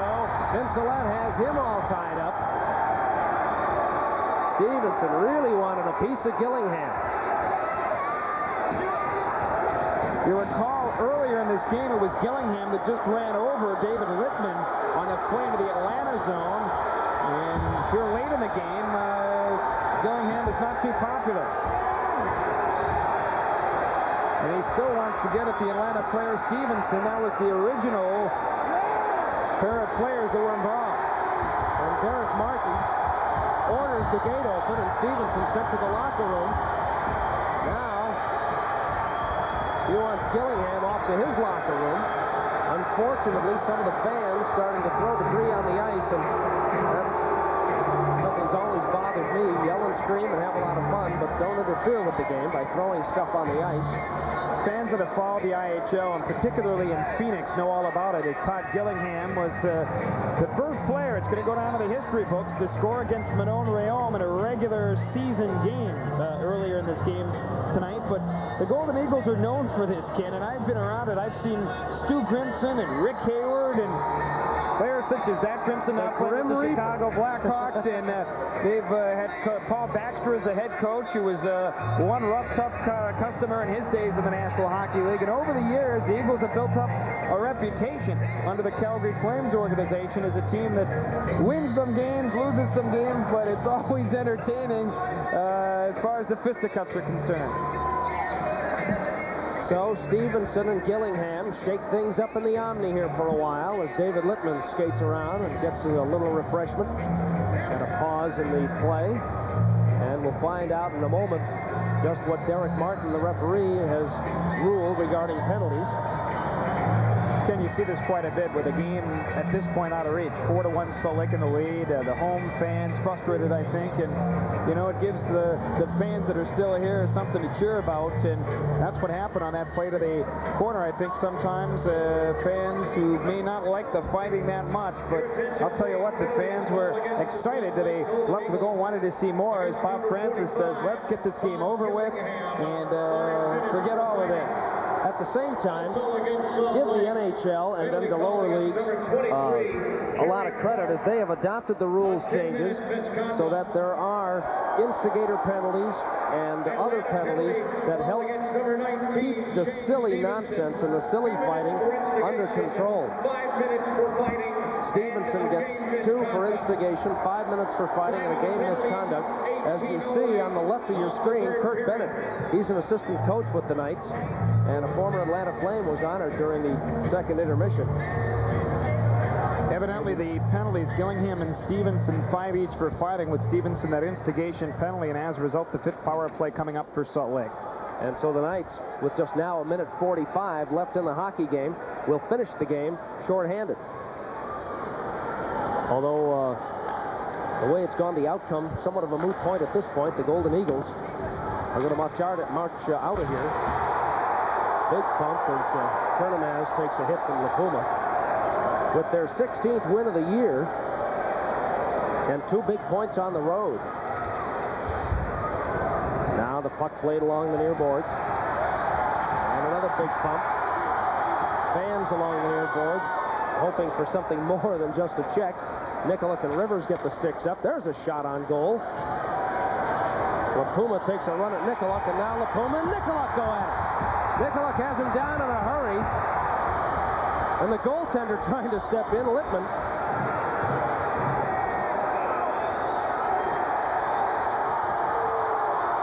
On Nikolic as he gets LiPuma down. The linesman pounce on them, and we'll have a couple of more players banished from this one. That's round number two for Nikolic in this game is uh, being escorted by the linesman and having some gestures for the fans here as well. That's uh, somewhat of a high five from, look like McCarthy. Does seem like there. an Ivy League type of guy to you? Probably has his master's degree or working toward that, huh? Alex Nikolic, uh, 6'1", 215 pounds, obviously, and Rick Lanz for the Atlanta Knights, although that I don't was, believe was he was, yeah, it was LiPuma LiPuma was the involved other in uh, that. combatant in that one. Escorted out of here on the far wing with uh, just over a minute left of the game, 104 to be exact, and Nikolic is going to get the instigation, I believe, on this one. Well, just about running out of room on the penalty side of the score sheet here with a lot of fights at the end of the hockey game. He's still in the runway area, is not going to the dressing room, wants to see the end of this game. Uh, and it's just a matter of uh, closing things out now with uh, the 4 to 1 score. He does get the instigation penalty. And uh, you see Bob Francis and the Salt Lake bench. And Francis is probably saying to himself, come on, let's get this thing over with and uh, catch that flight. So now we'll finish the game four on four in front of the goaltenders. And now just one minute left in the hockey game. Four to one, the Golden Eagles in front. As Land feeds it ahead to Vincelette. Run into the boards by Stolk on a good bump right there. Just a good, healthy check. The puck back across the line, deflected back to center ice with 35 seconds left in the hockey game. The Golden Eagles have played an outstanding game here. They weathered a first period storm in which they were decidedly outshot by Atlanta. It ended nothing to nothing. They took a 2 to nothing lead, and the Knights made it 2 to 1 in the third period. It took Salt Lake about 12 seconds to answer that goal with one of their own. And now we're going to have the 4 to 1 victory with just 10 seconds left in the hockey game. Lanz with the puck. Feeds it here to center ice. It's dumped back in. The horn sounds. That's it. The Salt Lake Golden Eagles split a two-game series and come into Atlanta winning this second game. The final score 4 to 1. Congratulations all the way around for their fine netminder. As you look at Todd Brost making his way to offer congratulations for Trefilov, who was absolutely outstanding between the pipes for the Golden Eagles. Well, the uh, final here, 4 to 1. And uh, skates off 31 saves, and some of the fans, even in Atlanta, giving him uh, the high fives. And he was sensational in goal tonight for Salt Lake. His uh, 13th win of the season, and uh, lowering his goals against. 4 to 1. The final score is Trefilov skates off triumphant. And we'll be back to wrap things up from the Omni after this. This is the IHL on Prime.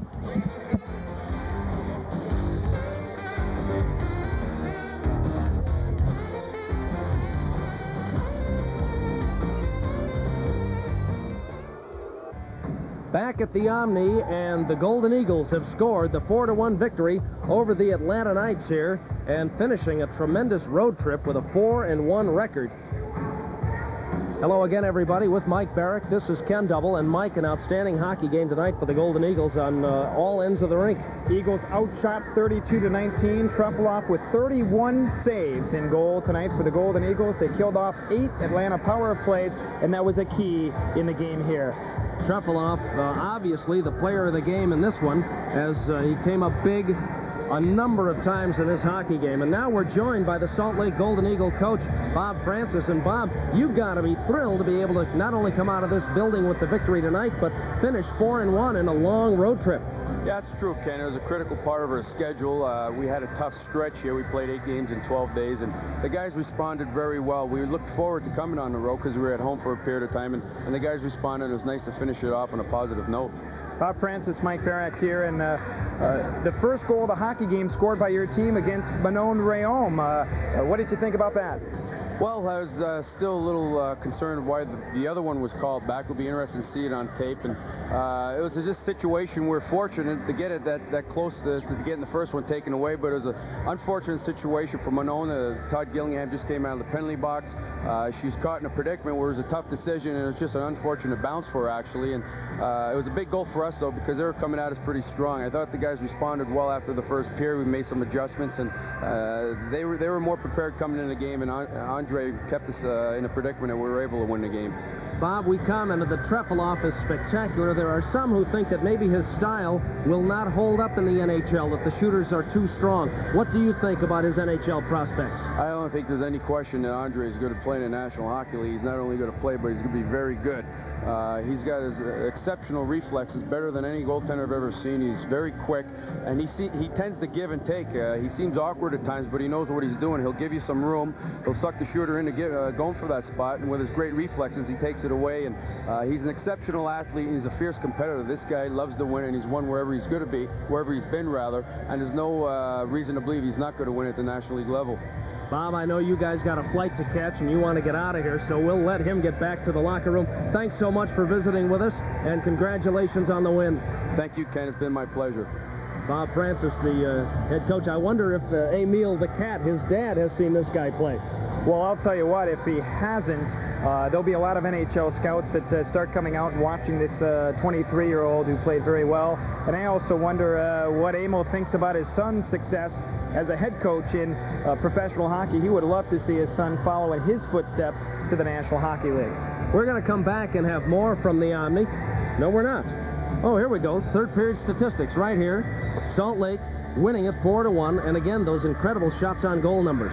Yeah, and the power play is a factor as well. Uh, nine power plays uh, for the Atlanta Knights in this game, and uh, the Golden Eagles killing off eight in the game this evening. And the Golden Eagles pulled away in uh, the third period with a couple of goals, and uh, that uh, made the final 4 to 1 here in Atlanta in favor of Salt Lake. And the scoring story, really, uh, Gillingham. Uh, somebody that you don't anticipate is going to score an awful lot of goals for you, and yet uh, he's a guy that got the job done. Yeah, he sure did. He scored the first goal against Manon Rhéaume. He also scored the second goal against Littman to give Salt Lake the 2-1 lead. And not only that, but he was throwing his body around all night long, getting into the hair of some of the Atlanta players. They didn't like it too much, but he played a physical game along the boards and also scored the pair of goals, so a big night for him. Tough on Atlanta in that they came out very strong outshot the Golden Eagles decidedly in that first period, but came up with goose eggs, and Trefilov now really becoming a thorn in their side. They have faced Trefilov three times, lost to him twice in Salt Lake, now have lost to him on the home ice, and in each of the three games has scored just one goal. So the Knights have really had their problems with the young, fantastic netminder from Salt Lake. Well, the Knights aren't the only team that have had their problems with him. Milwaukee had 53 shots one night. He made 52 saves in a 2-1 victory over the Admirals at the Delta Center, and he has lowered his goals against under 2.6, the only goaltender in the league with a better goals against, Rick Knickle, the San Diego Gulls, so he's second in the league. And of course, Knickle and his bunch have only lost once in regulation time, so you can imagine the success that they've been having. And uh, this is a big two points for you people on the road again as you try to make some hay in the Western Conference. There's no question that San Diego, far and away the best team in the IHL, is probably going to get that top seed come playoff time. But the Golden Eagles now playing very strong hockey here as we approach kind of the, the middle third of the IHL season, and this bodes well for them long range. Yeah, it sure does. And in fact, uh, the way the playoffs are set in the International League down the uh, line, they'll all fight for positioning in the individual conferences. So Salt Lake will battle with Milwaukee and Peoria and Kansas City as well. So every point at this time of the season, very important because of the overall playoff picture at the end of the season. Mike Barack, thanks so much for being here with us. We hope that you folks have enjoyed our initial telecast on Prime, and we will be with you throughout the season to keep you updated on the activity in the IHL. We've enjoyed bringing you this one from the Omni. The final score, Salt Lake 4, Atlanta 1. The game has been brought to you by RCA, changing entertainment again, by Power Play Promotions, the official supplier of the IHL, and by American Cemwood, the wood fiber cement people. We hope that you'll be with us next week when we again bring you IHL hockey on Prime. It will be Cleveland at Cincinnati, December the 19th. We'll look forward to seeing you then. From the Omni, this is Ken Double saying so long, everybody. This has been a presentation of Prime Network.